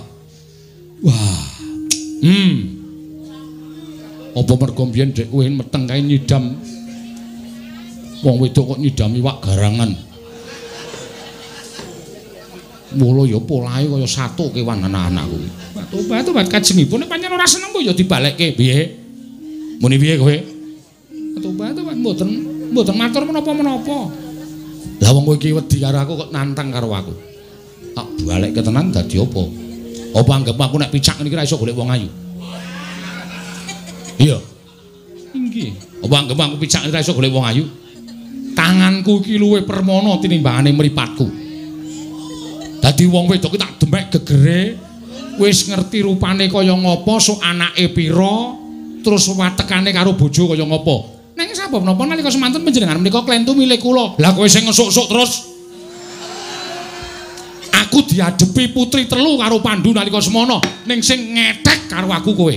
Batu-batu kula mboten ngetek, ngetek wae kowe njejeri aku pupuku tok jiwa-jiwit. Atobat man. Kaki Prabu mangriyen. Lho lho lho. Kusikik sing wis ya wis. Ora usah dadak duka kaya mengkono sing wigati dawuh supaya kabeh mau rancak. Suman wonten dawuh. Sengguni wonten dawuh. Sing teko iki mau sapa? Bratasena. Terus kowe ngarani Pandhawa mati mau bener apa luput? Bijinul bijinul tutukke ndasmu kuwi piye senengane no omong kok sak kepenake dhewe. Kleru kok ora rumangsa kleru ning malah glece sak penake dhewe inggih kinten kula niku nggih Pandhawa jebul sanes. Sing jeneng rongkongan iku ora isa dengerteni kuwi Pandhawa apa dudu. Ning kowe kuwi nalika semono kowe matur karo aku ngaturke rongkongan cacah 6 aku wis meh ora percaya. Ning kowe ngesuk-esuk karo aku supaya percaya. Iya apa ora? Nggih. Nggih nggih. Bencang boten kula bangsuli bangsuli bangsuli aku njaluk karo kowe. Hmm, kula mboten gadah menapa-menapa kusike aku njaluk apa sing tak dawuhke kuwi iki lakonana nggih menapa ku anggere ngetapke para sata Kurawa ganggu Bratasena nggone babat alas aja takon dosa. Tak copot kelengganmu dadi patih tak balik ning kloso jenar. Nggih ngestaken dawuh. Kurupati wonten dawuh. Yen makmu cilik suman akon anak-anakku Kurawa kon ganggu gawe Bratasena nggone babat kowe ora wadul karo bapakmu kowe ora matur karo aku aja takon dosa. Pangeran Pati Prabu Anung tak copot kelenggane aku ora sudi ngaku anak karo kowe. Nggih sendika ngestaken dawuh. Ora mung kandhek ning pangucap nanging kababaro dadi pakarti. Niki ngestaken dawuh Rama. Mangke badhe kelampah badhe kula unjukaken paduka Kanjeng Rama. Bagus. Janji Citra aja takon dosa. Aku ora sudi ngaku anak lawan Ngrupati. Wah penemban ana dawuh apa monggo kula kanthi manjing saklebeting sanggar pelanggetan tinuntuna ingkang putra pun ngunjukaken puji syukur dhateng ngersanipun Gusti. Saha nyuwun dhateng panguwasaning dat kamurwing dat. Mugi-mugi lampahipun Bratasena kinalisna saking sakataing rubeda lan rinancakna anggenipun babat Wonomarta kuwi luwih prayoga. Begawan Duna kula wonten maring adhawa kowe melu manunggal ning sanggar pelanggatan apa? Mapan ana ing sanggar pelanggatan Sukalima oh kula sampun dipun antu-antu dening para cantrik-cantrik pertapan Sukalima Anggenipun sampun kula dawuh supados samapta. Rampet menapa uba rampe kinarya. Nyuwun ngersanipun Gusti supados Bratasena menika mangke rancak anggenipun Bapak Wonomarta. Ngono dono. Inggih. Ya yen pancen ngono tak menangake kowe kundur marang Sukalima. Dongakno anakmu si Bratasena. Oh inggih, ngestaken dawuh. Senguni kula wonten dawuh. Bubar kang padha sepuh ingsun kundur kedaton.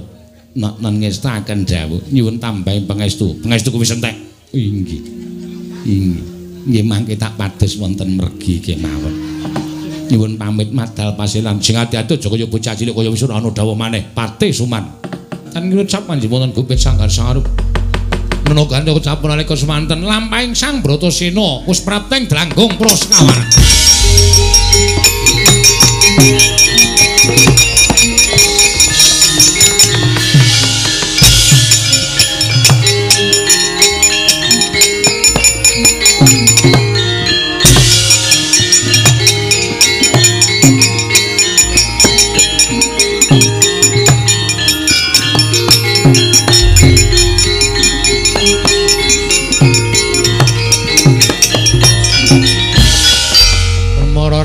swem yo ngambreng kati karunaning kaswase dosang kondo astrat mojo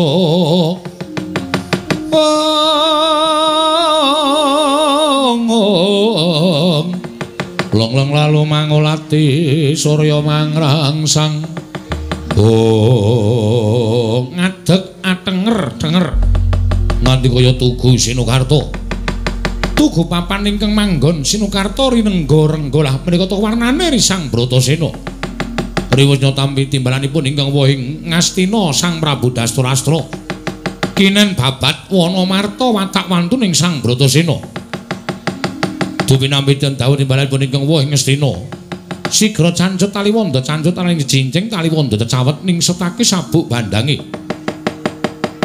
Mata kaji Bandung Bondowoso wungkal bener mengantep-antep Arsa tumuju wonten ing wana Marta. Suku tengen den balangake kebat kaya kilat kesit pindha tatit saben suku dawa wonten ing Bantala Jemblong sak sumur-sumur.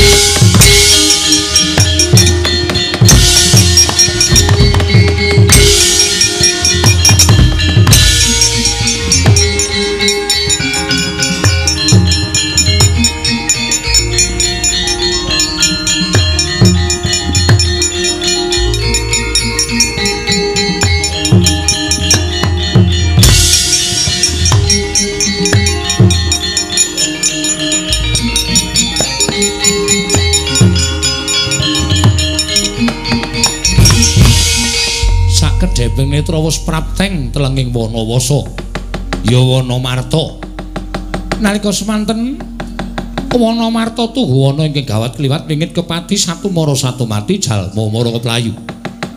Joko Jamal maring titah nadyan Jawata kemawon boten wantun tumurun wonten ing wana marta parandene risang abagus sang Werkudara ya sang Bratasena. Eling-eling duwe watak waja Triwusya prapteng telenging tepining wana marta sigra amiwiti babat. Wreksa-wreksa den jeboli sela-sela den glundungaken nganti mosak masik bubrah slangkrah telenging wana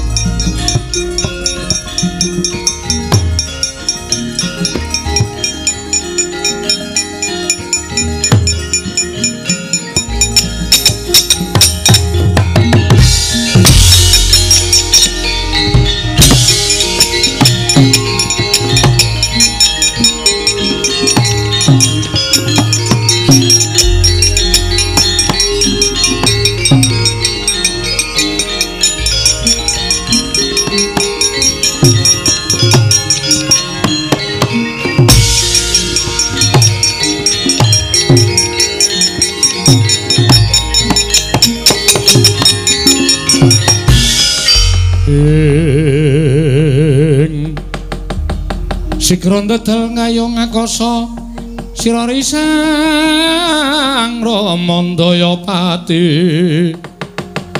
Ong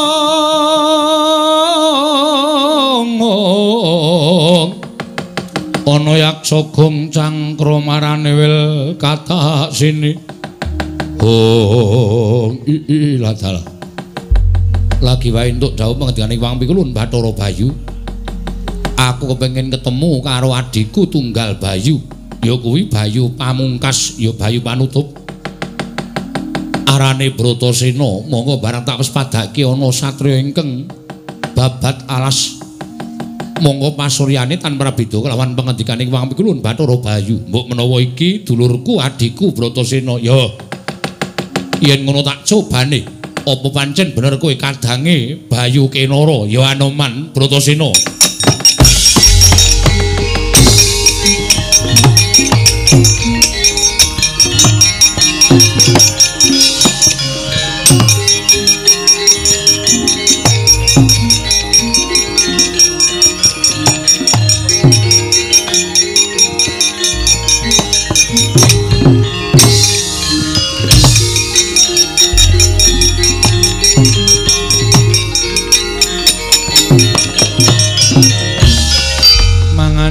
lakune angin. Kukuranggrane ngarga kura kura kurnita kagiri-giri. Ong ong ora bumi prakempita padula mangambak-ambak. Ong atase kabeh kewan-kewan galak padha mlayu. Kewan gedhe padha mlayu wedi karo nggonku babat alas. Wedi yen to ketibanan watu apa kembrukan wak kayu. Iki neng munyuk putih gedene mung sak lengenku. Teko malah klekaran ana ing sak dhuwuring watu.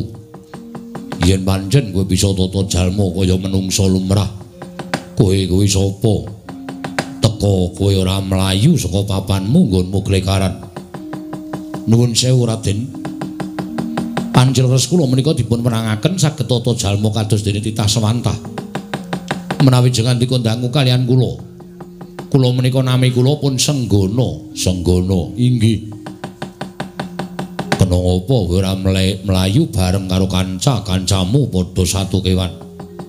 Menawi kula menika saged mlajar tartemtu kula menika sampun mlajar. Ajrih kalian selo ageng tuwin werksa ingkang ageng ingkang saged damel pejah kula. Nanging nuwun sewu Raden, kula menika dipun keparengaken gadhahi cacat. Kowe duwe cacat inggih. Cacat apa? Kula menika mboten saged mlampah tegesipun kula menika kethek lempoh.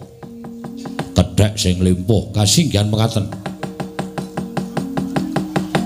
Mila kula mboten mlajar kelan rencang-rencang kula krana kula sampun mboten saged mlajar mila menawi jenengan dika Raden kepareng badhe mitulungi dhateng kula lajeng serananipun kados pundi?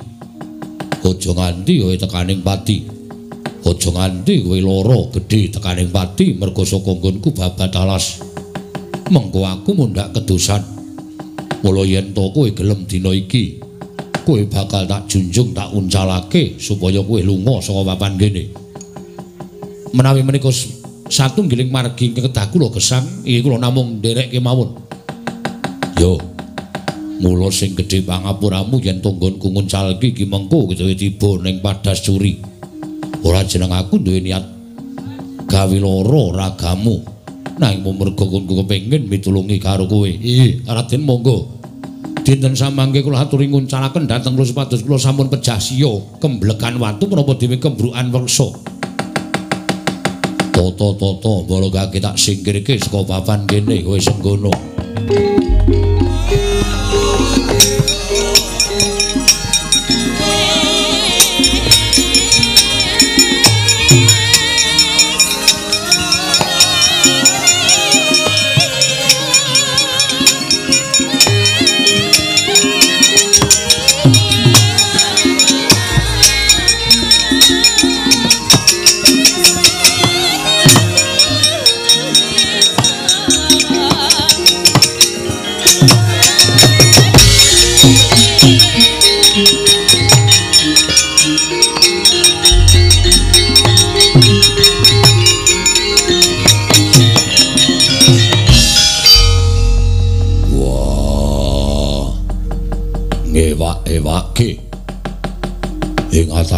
Munyuk gedene ming sak lengen tak junjung aku ora kuat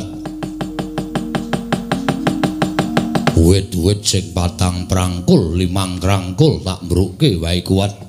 Watu sing gedene sak gubuk penceng wae tak glundungke aku kuat. Ing atase ming junjung munyuk sak lengen wae. Wah we pamer. Kowe matek jaya kawijayan kowe umuk karo Bratasena. Nuwun sewu Raden Lho nyuwun pangapunten kula menika mboten nate umuk. Nyatanipun kula menika namung badan sepata. Anggenipun badhe kula kangge umuk kemawon menapa? Nyatane tak junjung ora kuat. Perkawis menika kula malah mboten mangertos. Kiat menapa mboten kula menika mboten mangertos. Wah, yo kowe aja pamer. Kowe aja gleleng, aja gembelo sirahmu. Apa dikira aku ra duwe sedulur munyuk sing padha karo kowe Digdaya? Aku duwe sedulur sing tekan seprene aku durung tau ketemu. Ngendikane Wang Mikulun Bathara Bayu dulurku mau jenenge Anoman. Munyuk uler putih kaya kowe. Kowe pamer kadigdayan karo aku mongso kala tak kandhake dulurku Kakang Anoman. Wah ora-orane. Yen to kakangku Anoman kalah karo kowe. Lah dalah adikku di adikku. Wah, Brotosena. Barang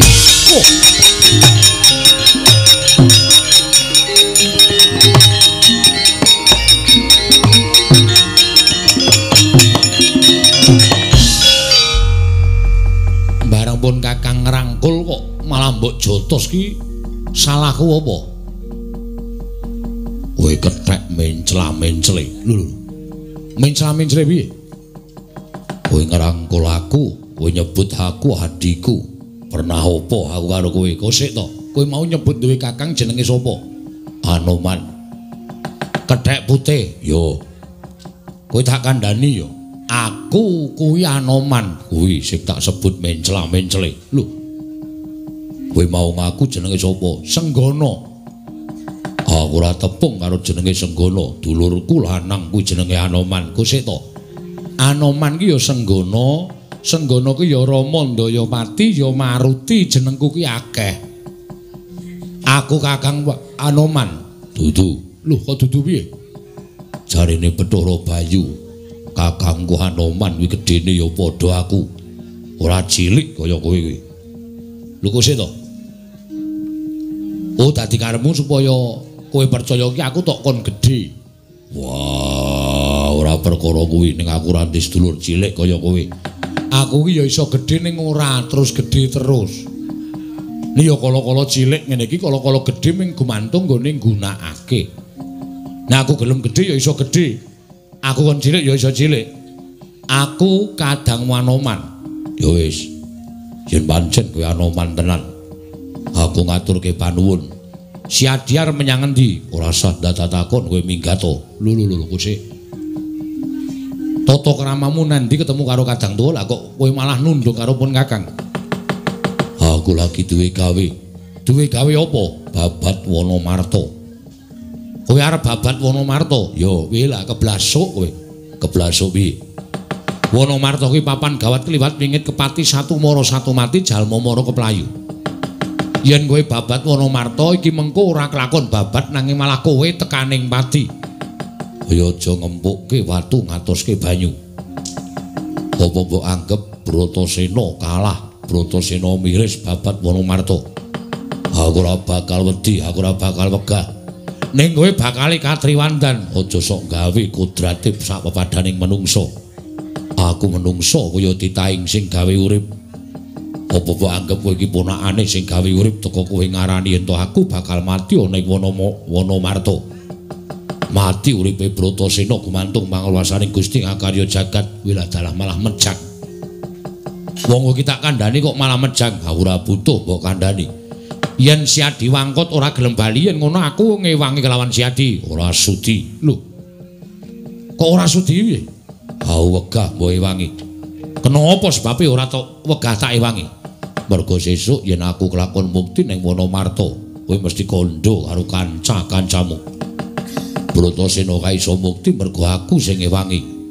Mukti ya saka aku, ora ya saka aku. Wis minggat to. Bratasena. kowe tak kandhani. Siji Wonomarta kuwi gawat kliwat wingit kepati, angka loro.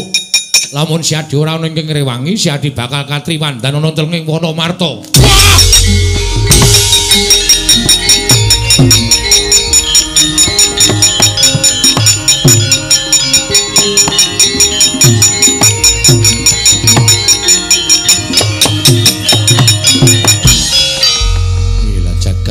Bathara jagat pangestu ngoro. Wih.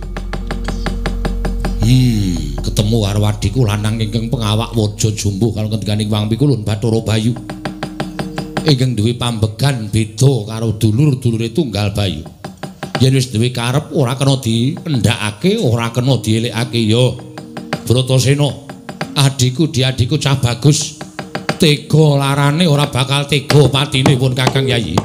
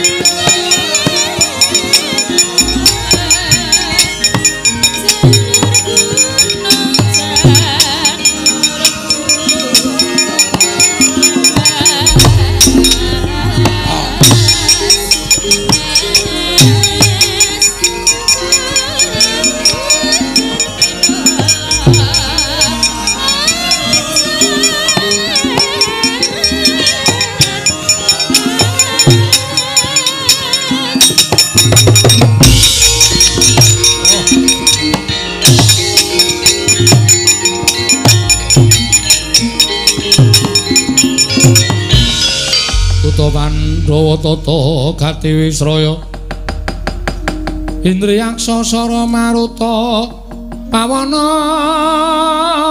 bana margana.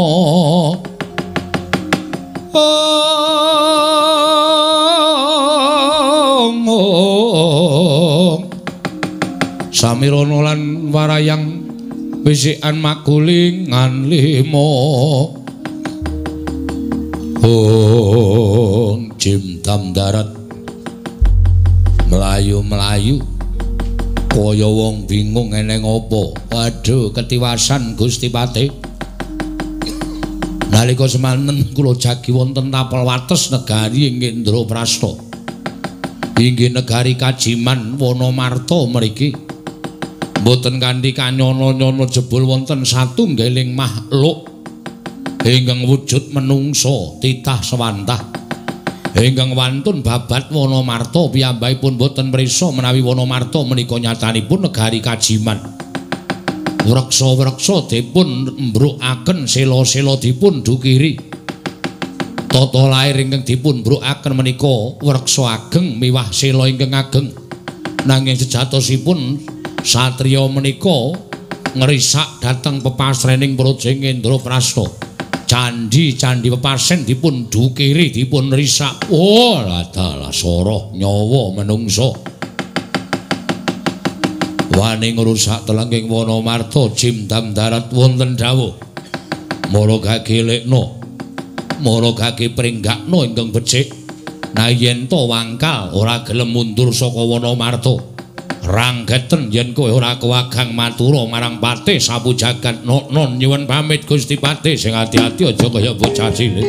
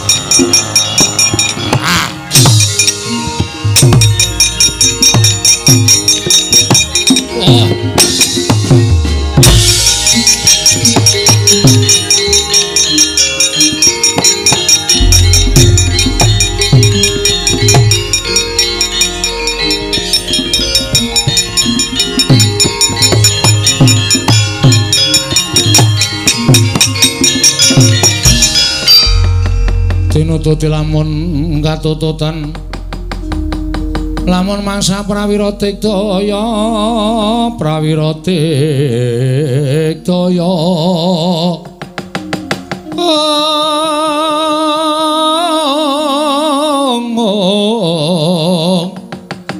Runanggana magawe gelari rawang wang. Oh iladala Den sabar mandeg dhisik kowe tak takoni ana menungso kendele kliwat saka ukuraning menungso lumrah kowe wani babat lenging wana marta kowe sapa ngaku aja mati tanpa aran takon harwaku Buri saka pertapan Sabtoarga Bratasena Bratasena yo iki ning wujudan tak wis padake cat katon cat ora kowe bangsaning opo yen kowe nyawang aku cat katon cat ora pancen kepara nyata merga donyaku lan donyamu kuwi beda. Aku bangsaning jim. Aku ingkang jaga wana marta ingkang sejati iki negara. Negaraning bangsaning jim. Kang aran negara ngendra prasta. Oh kowe ngerusak pepasrening negara ngendra prasta ora niat ngerusak pepasrening negara ngendra prasta Wit gedhe mbok mbrukke, watu gedhe mbok dukiri mau sejatine pepasren ning Praja Ngendra Prasta. Yen ngono malah aku njaluk karo kowe. Piye? Kowe minggato sakwadya balamu. Papan iki arep tak go mukti Bratasena sak sedulur. Wah, kewanen ucapmu. Hmm? Kowe wani nundung bangsaning jim, sumuk nyawamu kepengin meruput tinjung akhirat. Wah, ora ana jamak lumrahe menungso kalah karo bangsaning jim. Yen kowe ora gelem lunga saka papan iki opo kudu aku sing kudu nglungake karo kowe. Wah, sugih kendel bondo wani. Ayo sirnakno jim dam darat. Wah, maju sejangka. Dadi srana nggonku bakal mukti ning Wonomarta nadyan bangsa apa wae. Sing sekirane derajate luwih asor tinimbang menungso kudu tak singkirke wah kiaglak limpamu mara maju jimdam darat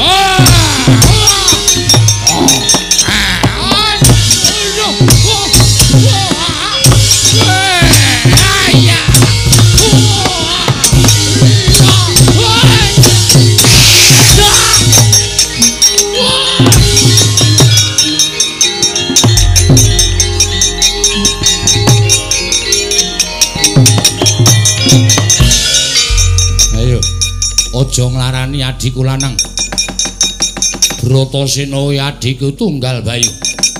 Kowe nglarani adikku lanang padha karo kowe sumuk nyawamu. Kerubutan anoman legane atiku ora bakal tak tinggal loncat.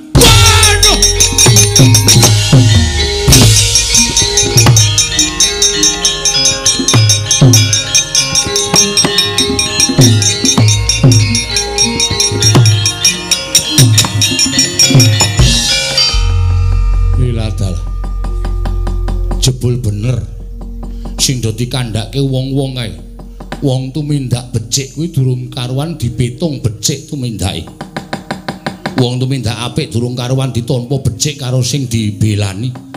Nyatane aku nyelametake nyawane adikku lanang Bratasena. Lah kok malah aku sing dijempalani aku ditendang sak kayange. Waduh waduh yayi yayi aku ra duwe niat apa-apa. Aku ora duwe pepinginan apa-apa mung mligi nglabuh karo adikku lanang. Ewadene urung tok tampa. Ewadene kowe durung iso nampa. Nganti sak isamu nggonmu nampa labuhane kakamu, tekan ngendi wae tak labuhi kowe jimdam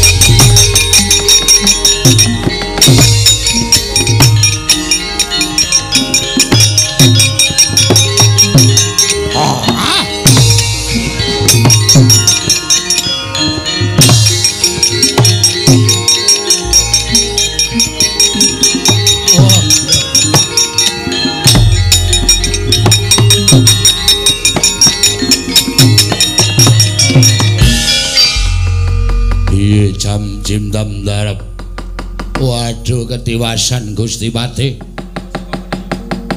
nyoto lamun Raden Bratasena sekti kalintang jayaning perang. Piyambakipun ugi dipun tutaken satunggiling wanara seta kula dipun ajar dipun polo gantang dening Raden Bratasena. Oh ladal gugu karepe dhewe mundura mundura iki dudu perkaramu. Kowe nyegat laku ning Bratasena kowe ora bisa ora bakal lak dukane kowe mundura Bratasena kuat nampani daya kemandening pate sapu jagat tampar sutra jala kencana wah meguru karo kowe ya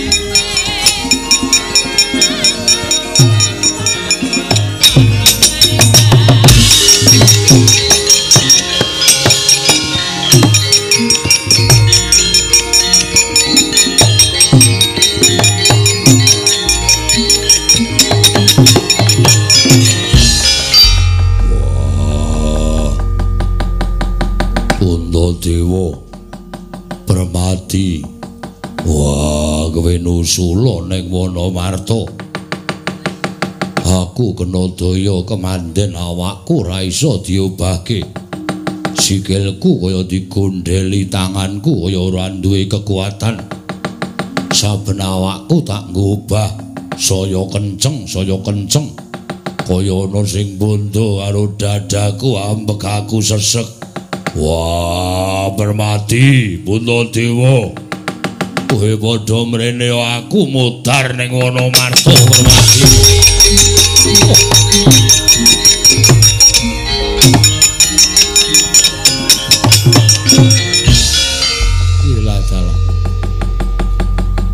Bratasena kowe kena apa yayi? Lah kok dadi nglumpruk tanpa daya?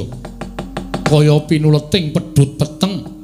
Samar-samar pun kakang iso nyawang marang blegering siadi nanging kaya cat katon cat ora. Wah bermati Bunda Dewa aku tulung ana babu. anakmu mati neng alas abiyasa kakekku Bratasena siadi kena apa? Wah kundi aku tulung ngono abiyasa wah mung ditakoni kok ora wangsulan. Sing disambati mung dulur-dulure. Yo yayi bejo kuwi duwe kadang tuwa kaya pun kakang anoman. Tak suwun kemarang purbane Gewang Mohonoso muga-muga pun Kakang iso mbirat penandang keng Bosandak Waluya Nirmala Temajati Jati Temah Mulya Bratasena adiku cah bagus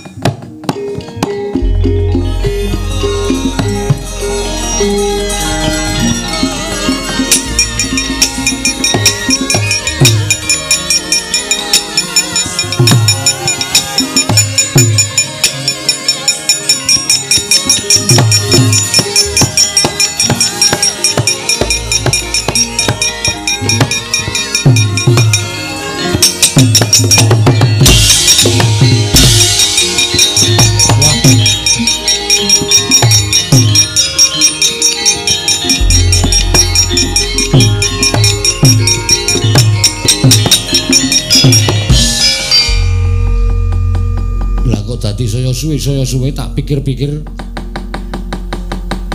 Tenagaku wis ora ana gunane kowe tak rewangi. Kowe kena penggawening mungsuh tak luari lah kok tanpa ana rasa matur nuwun karo wong tuwa. Kowe ngaturke panuwun wae ora. Kowe ngejak guneman pun kakang wae ora mbok anggap aku kuwi. Ingkang bakal mbeda kelawan nggonmu nyambut gawe babat Wonomarto. Ya wis. Bratasena ning pun kakang bombong pun kakang seneng. Dene pun kakang nyumurupi marang semono gedhe tekating siadi pancen bener ngendikane wong pikulun Bathara Bayu yen to sira kadangku Yai Bratasena kuwi kang pengawak waja Yayi tak dongake saka kendali sada muga-muga kelakon penjang kamu ngene babat Wonomarto. Pun kakang tak bali marang pertapan kendali sada pirang taun meneh pirang abad meneh ketemu karo kakang Yayi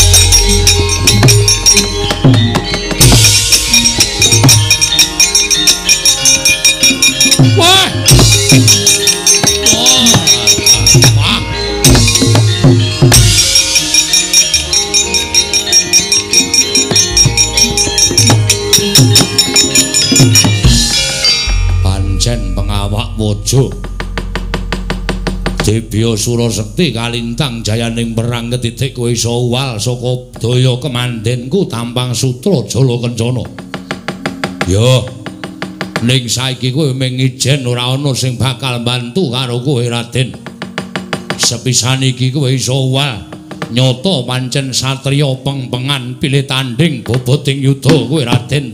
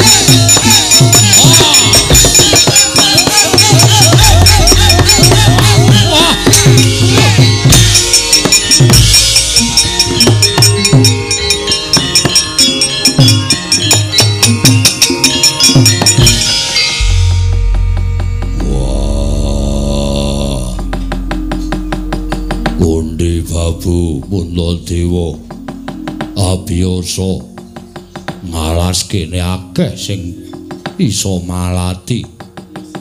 Ngalas kene akeh watu sarta wit sing angker. Wah aku nganti ora iso ubah. Aku ora iso nglawat wah Bunda Dewa, kowe mrene yo permati, kowe mrene yo. Biasa kakekku aku tulungono kaya ngene kahananku. Ayo. Kowe ora bakal bisa ubah saiki kowe Bratasena. Kowe kena daya kemandenku tampang sutra jala kencana.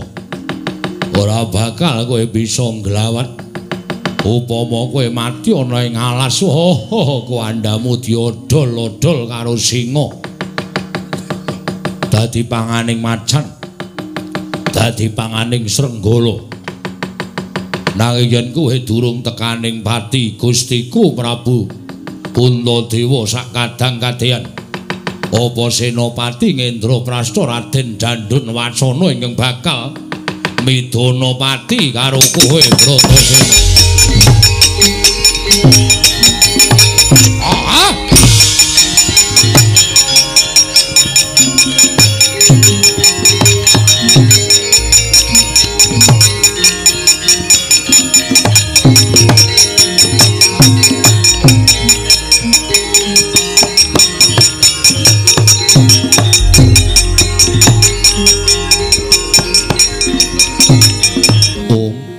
Mastu Nomo Sidam Skaring Bawono Langgeng Anggara Warna. Citrasena Kaget kita ulun biji Mangarsama ana ing kayiwangan Slindra Bawono Anggara Warna. Nonamit pasang kaliman tabi tinebine kula duni dumawaing tawang tuwang bukulun Kejot raos sing manahipun ingkang abdi pun Anggara Warna Iki pun Citrasena sareng kula tampi timbalanipun pukulun sanggiwang Bathara Indra. Mugi kepareng ambabarana menapa ingkang abdi nandhang kalepatan dosa menapa ing badhe kula sandhang kula mboten badhe suwala pukulun aja kaduk ati kajron penampa yektine kita ulun wiji mangarsa meneng ngarsa ulun bakal nampa dawuh saka panjenengan ulun ingkang magepokan kelawan negara Indra Prasta Yawana Marta kita isih kelingan. Yen to negara Indraprasta kuwi yasan ulun. Wondene ingkang ulun dawuh supaya yasa jeneng kita. Jim Citrasena ya Jim Anggara Parna. Minangka dadi undagi negara Indraprasta kasinggihan mekaten wiwit saka dumadining negara Indraprasta nganti temeka wahyaning dina samengko iki wis ngancik 1000 taun Ngendra Prasta nggone gumelar ning jana luka nadyan mbuya saben manungsa bisa nyawang. Sabab ingkang kita bangun nalika semana wujuding negara Jim utawa Praja Kajiman. Inggih sinuwun. Sabanjure ulun dawuh kelawan Jim Yudhistira sak kadang kadeyan. Ya kuwi dandun wacana danang jaya tripala dama granti. supaya ngreksa marang negara Jim kang aran Indraprasta lan ngratoni bangsaning Jim. Ana ing Wanamarta mula ora jeneng Mokal. Lamun Wanamarta katelah alas ingkang gawat kliwat wingit kepati satu mara satu mati jalma mara keplayu. Nanging sumurup Anggara Parna yen to dina samengko ngemban dawuh. Timbalaning Sang Hyang Jagat kirim ratingkah ya Sang Hyang Jatimurti. Kinarya anuwak bakal dumadi ning dardah ingkang dumadi ana ing jana luka ingkang sinandhang yaiku turasing negara Mestina kanaran Pandhawa lan Kurawa. Dina samengko kaya wis purna darmaning Yudhistira sakadang nggone minangka dadi nalindraning jim mapan ana negara Indraprasta lan keparing Hyang Jagat Giri Pratingkah negara Indraprasta bakal kababar kamanungsan tegese bakal dilenggahi dening menungso lumrah. Wondene sapa to ingkang bakal nampa kanugrahan mau sayekti tanana liya kejaba mung para Pandhawa ya kuwi atmajaning sawarga Prabu Pandhu. Sabab den titeni wiwit saka Pandhawa. Mapan ana ing alas. Nglakoni tapa brata prihatin wiwit kuncung nganti gelung wiwit sapang jabang nganti celaprang. Samengko kaya wis purna darmaning prihatin para Pandhawa lan titik lunggan samengko wis pantes lamun pikantuk kanugrahan. Mulanggara Warna. Ulun dawuh lawan jeneng kita iki sayekti upadinen upadinen piranganing para Pandhawa ing bakal nampa marang pengapesaning bangsaning Jim.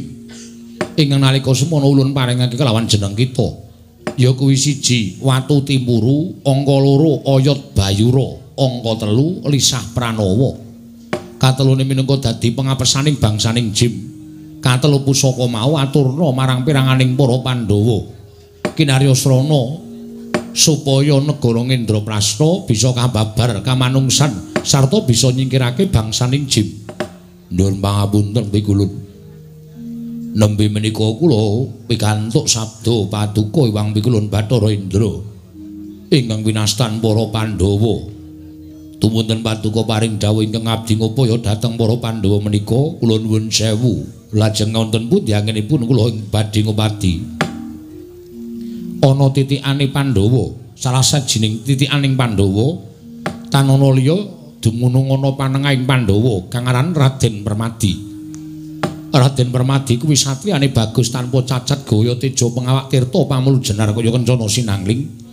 Turta duweni ciri tansah kadherekake perpat punakawan catur.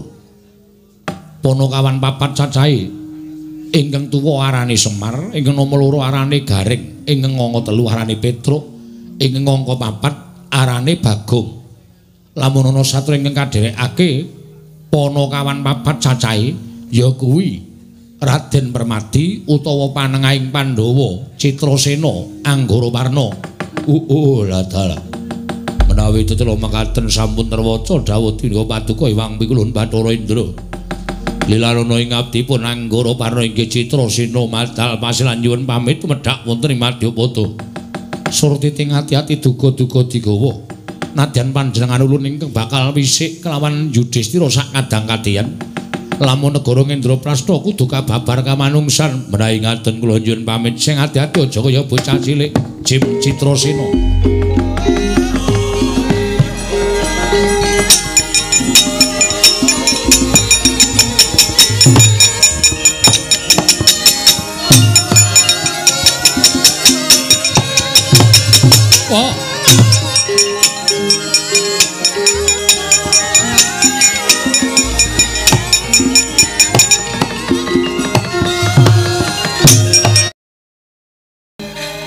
Kakang Semar.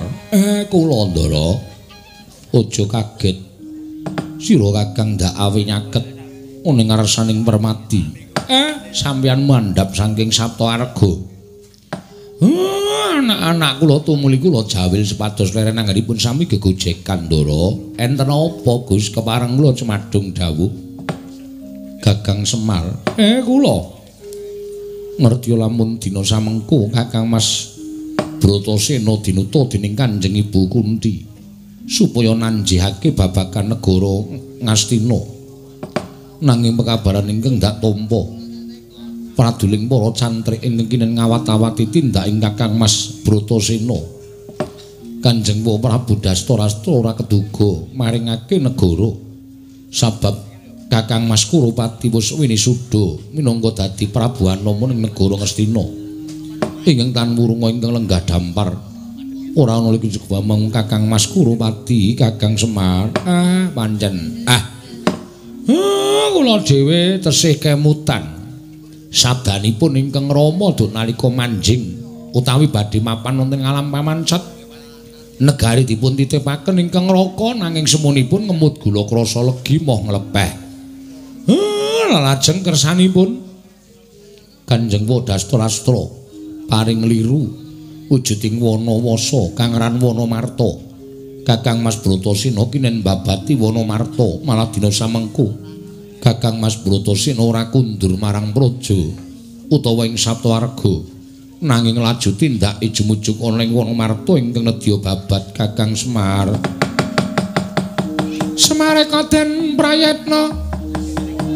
Samuriris teka balik ong titiani gandayani trisanya purnama sasi gilar-gilaran ing tengah latar milang lintang bima sekti ing ana wasane iku alas sing gawat kliwat wingit kepati satu mara satu mati jalma mara keplayu. Nek sampean boten sumusul kang raka ah tangeh lho den ingkang raka saged rampung pakaryanipun.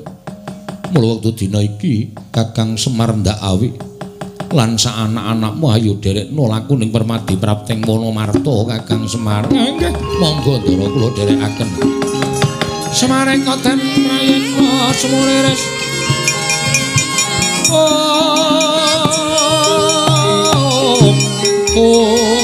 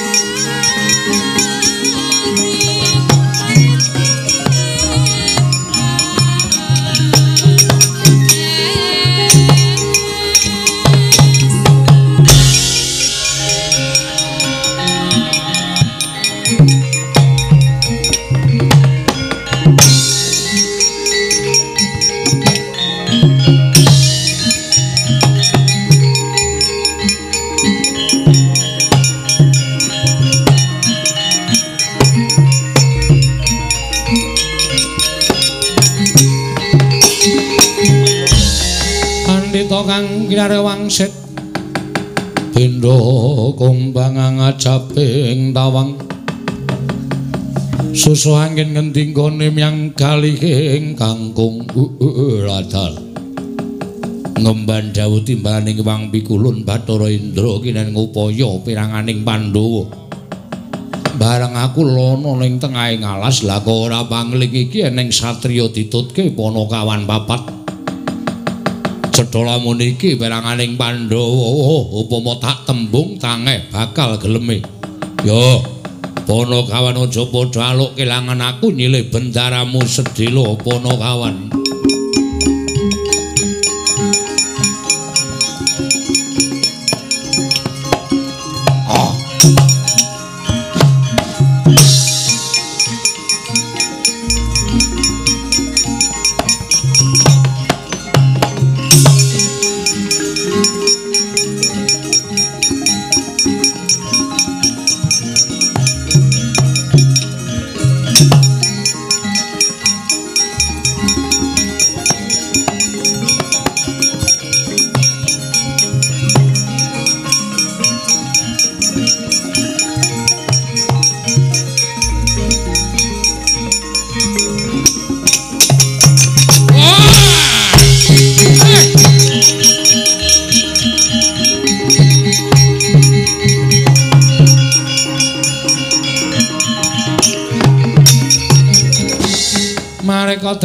den prayitna semulire seka balik titiane gandayane trisanya purnama sasi.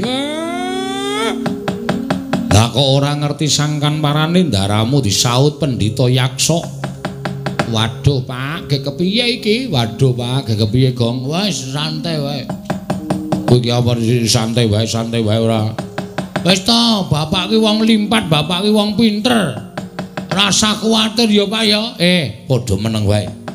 Oh, aku apal karo pendhita buta kae.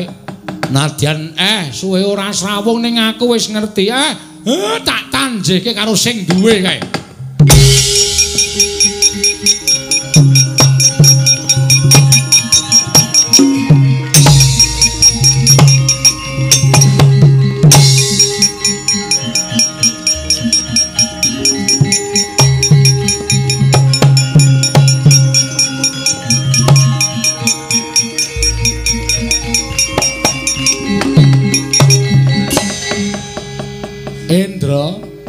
Dawuh wa. Ah, aku jane wis ngerti. Aku jane wis cetha paningalku. Ning mergo aku ora wani nguluwi karo sing gawe jagat. Ngluwi karo para Jawata, mula aku trima meneng. Gajeke kowe duwe abdi pendhita buta sing mapan ning Wonomarta. Eh, jenenge sapa? Inggih pun Nanggara Parna inggih Citrasena. Lah, nyaut bendaraku wigatine apa? Siwa Badrana sampun ngantos kuwatir. Ingkang wayah pun permadi mboten badhe kenging menapa-menapa. Namung badhe nampi satunggiling kanugrahan saking ingkang wayah utawi ingkang putra Punendra lumantar Anggara Parna. Eh, papane nanti? Papanipun wonten ing sumur gumuling. Monggo si Siwa Badrana kula aturi jumujug wonten ing sumur gumuling. Wah, Rada adoh ning ora apa-apa. Ha, nak tututane bendaramu.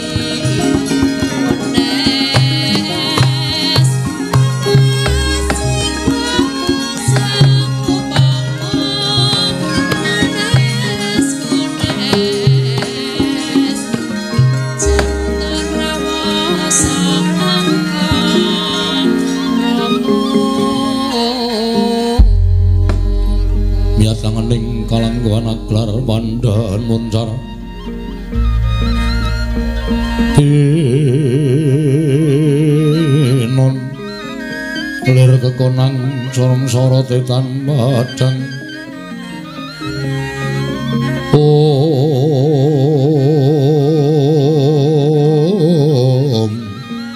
Om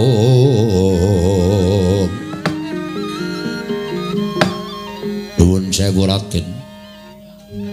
Menapa kepara saestu wilujeng ngandika ing menika ingkang kekasih Raden Permadi. Yo penemban. Ngaran Raden Permadi. Oh, lah dalah.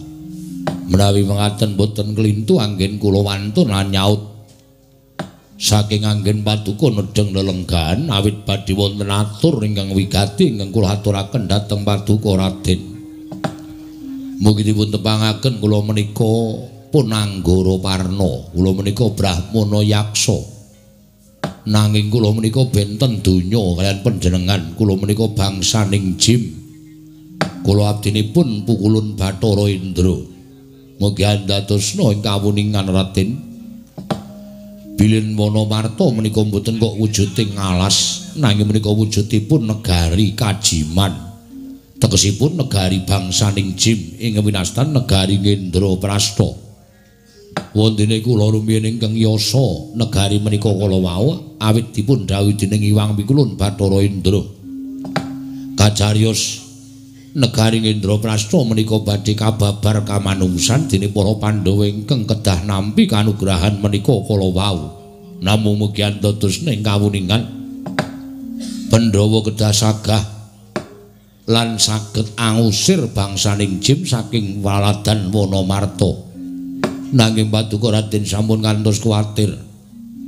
Kula kadhawan dening Wang Mikulun Bathara Indra maringaken utawi nyaosaken inggih menika pusaka keringkianing bangsaning Jim setunggal watu timpuru angka kalih oyot bayura angka tiga inggih menika pun lisah pranowo Lisa Pranowo menika menawi dipun sapaken wonten ing netra panjenengan saged nyumurupi sola bawaning bangsaning Jim. Oyot Bayura menawi dipun sabetaken wonten ing Jim menika saged lumpuh tanpa daya. Lajeng watu timburu menika menawi dipun sawataken wonten ing bangsaning jim saged lebur tumpur tanpa dadi Raden. Pusaka ketiga menika mugi keparenga nampi lan paduka keparenga saged ambabar negari. Ngendra Prasta menika wujud kamanungsan. Satemah saged kinarya mukti sederek-sederek panjenengan ingkang winastan para Pandhawa Raden gunjang kancing langit kelap-lapaton Lirkin sanging risang mawe gandrung. Hing Namung kula suwun sak mangke menawi paduka mlebet wonten ing wana marta langgung prayogi sesarengan sederek panjenengan gangsal cacahipun awit mugi dados ning kawuningan ingkang ngrenggani Ngendra Prasta negari Kajiman.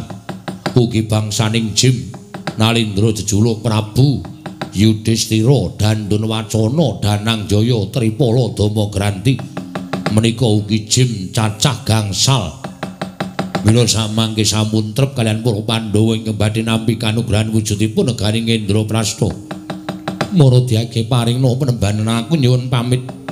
Bakal budal marang negoring Wonomarta iya monggo kula aturi nampi Raden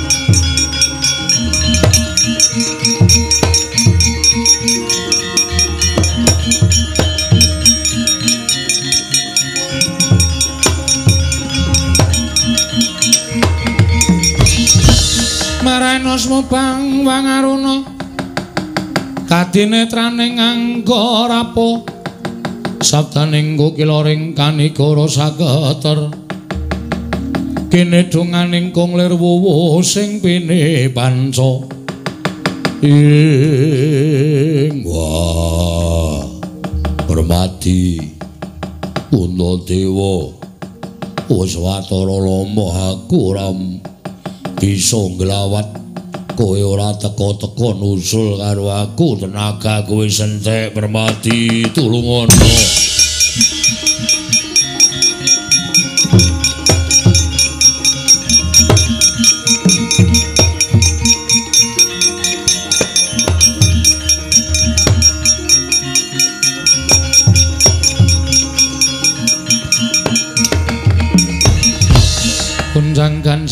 kelap-lapaton lerakin sanging risang mawe gandrung. Ah, wiwit wau kula wis krungu pesambating piyayi. Ora pangling swanten ingkang raka. Lah nak tenan to ora lidok ujaring wong daplok. Lah kok dadi ingkang raka? Ah katarungku pedhut peteng kaya ngeten iki den mang waluyake selak mesakake Kakang Semar tak sabeti oyot bayu muga-muga bisa nirmala waluya temah jati jati temah mulya Kakang Semar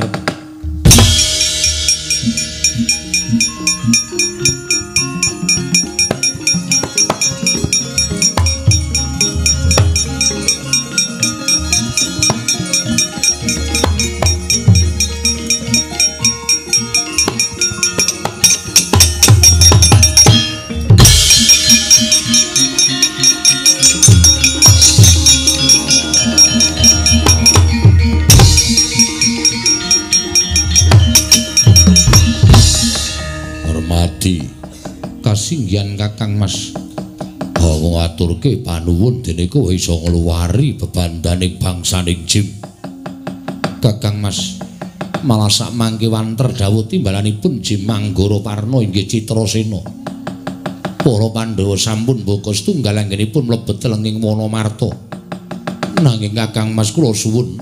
Sak mangke sumusul dhateng Kakang Mas Puntadewa menapa dene rayi paduka pinten tangsen keparenga Pandhawa gangsal dipun kanthi mlebet lenging Wonomarta sabab menika negari Ngendraprasta negari bangsaning Jin Kakang Mas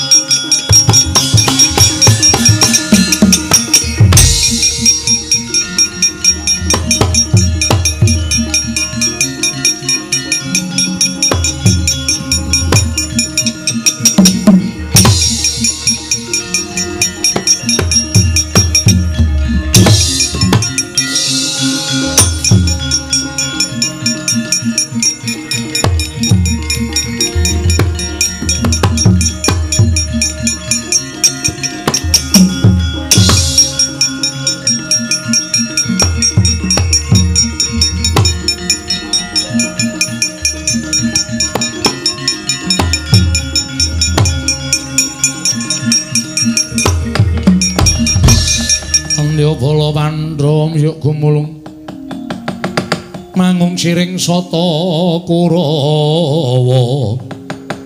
Ing dandun wacana. Yudhistira kakangku wi danang jaya wonten timbalan ing adawuh koko prabu tripala dama granti. Ih wonten timbalan koko prabu? Ih wonten timbalan. Wantratu ring patih sapu jagat. Ing nalika semana matur kelawan panjenengan ingsun lamun negara Ngendraprasta rusak dening titah sewantah jalma menungso. Malah samengko wis bisa katarungku dening jim utawa pati sapu jagat.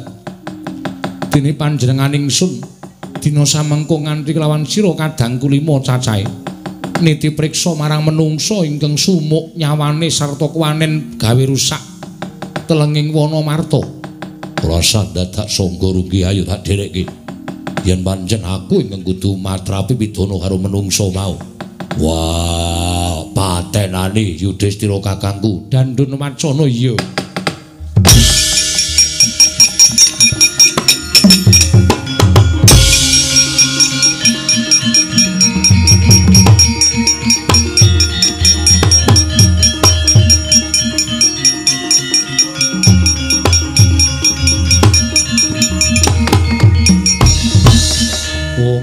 bilahing mastu nama sidam sekaring bawana langgeng yudhistira. Wonten timbalan dandun wacana. Ana dawuh ngapa indra? Bapakku danang jaya tripala dama granti. Ulun tumedhak hunyang madyapada prapta ning wanamarta. Sayekti amung nedya paring dawuh kelawan jeneng kita mundi dawuh timbalan ing wang pikulun jati murti lamun nggon kita ngrenggani negara Ngendraprasta wis jangkep 1000 taun. Bangsaning jiwing mapan ana ing Ngendraprasta iki wis titi mangsa kudu bali marang asal mula-mulane. Dene negara Ngendraprasta bakal kababar kamanungsan. Sapa to ingkang bakal nampa triman kanugrahan negara Ngendraprasta tanana kejaba mung para Pandhawa. Mulya tenana satriya 5 cacahe ingkang padha prapta ning Wonomarta. Yekti iku ingkang dakal dadi dalaning pangruwatan kita sak kadang Yudhistira.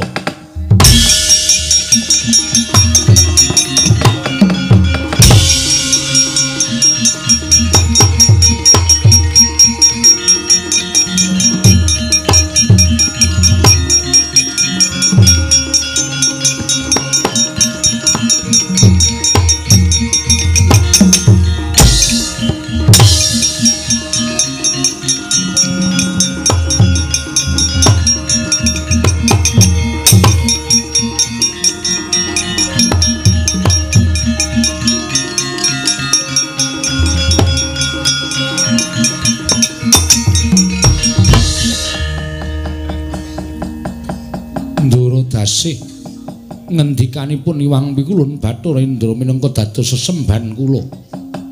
Menika wonten satriya gangsal cacahipun ingkang tanpa beda lawan kadang kula. Menapa inggih paduka ing winastan para Pandhawa, Raden sinuwun napan kepara nyata. Aku ingkang dadi kamituaning Pandhawa aranku Puntadewa iki adikku Bratasena Permadi pinten kelawan tangsen. Aduh Raden. Ing mekaten nyata paduka ing minangka dados margi pangruwatan kula. Dipun nepangaken kula pun Yudhistira menika kadang kula dandun wacana Danang Jaya Tripala Drama Granti. Dawing Sang Hyang Bathara Indra. Bilih negari Ngendra Prasta ingkang sipatipun kajiman badhe kababar kamanungsan. Wonten ingkang nampi triman negari menika paduka Raden sakadang mila Raden. Negari Prasta kula pasrahaken dhateng jengandika Raden. Lan keparenga sak mangke kula nyuwun pamit.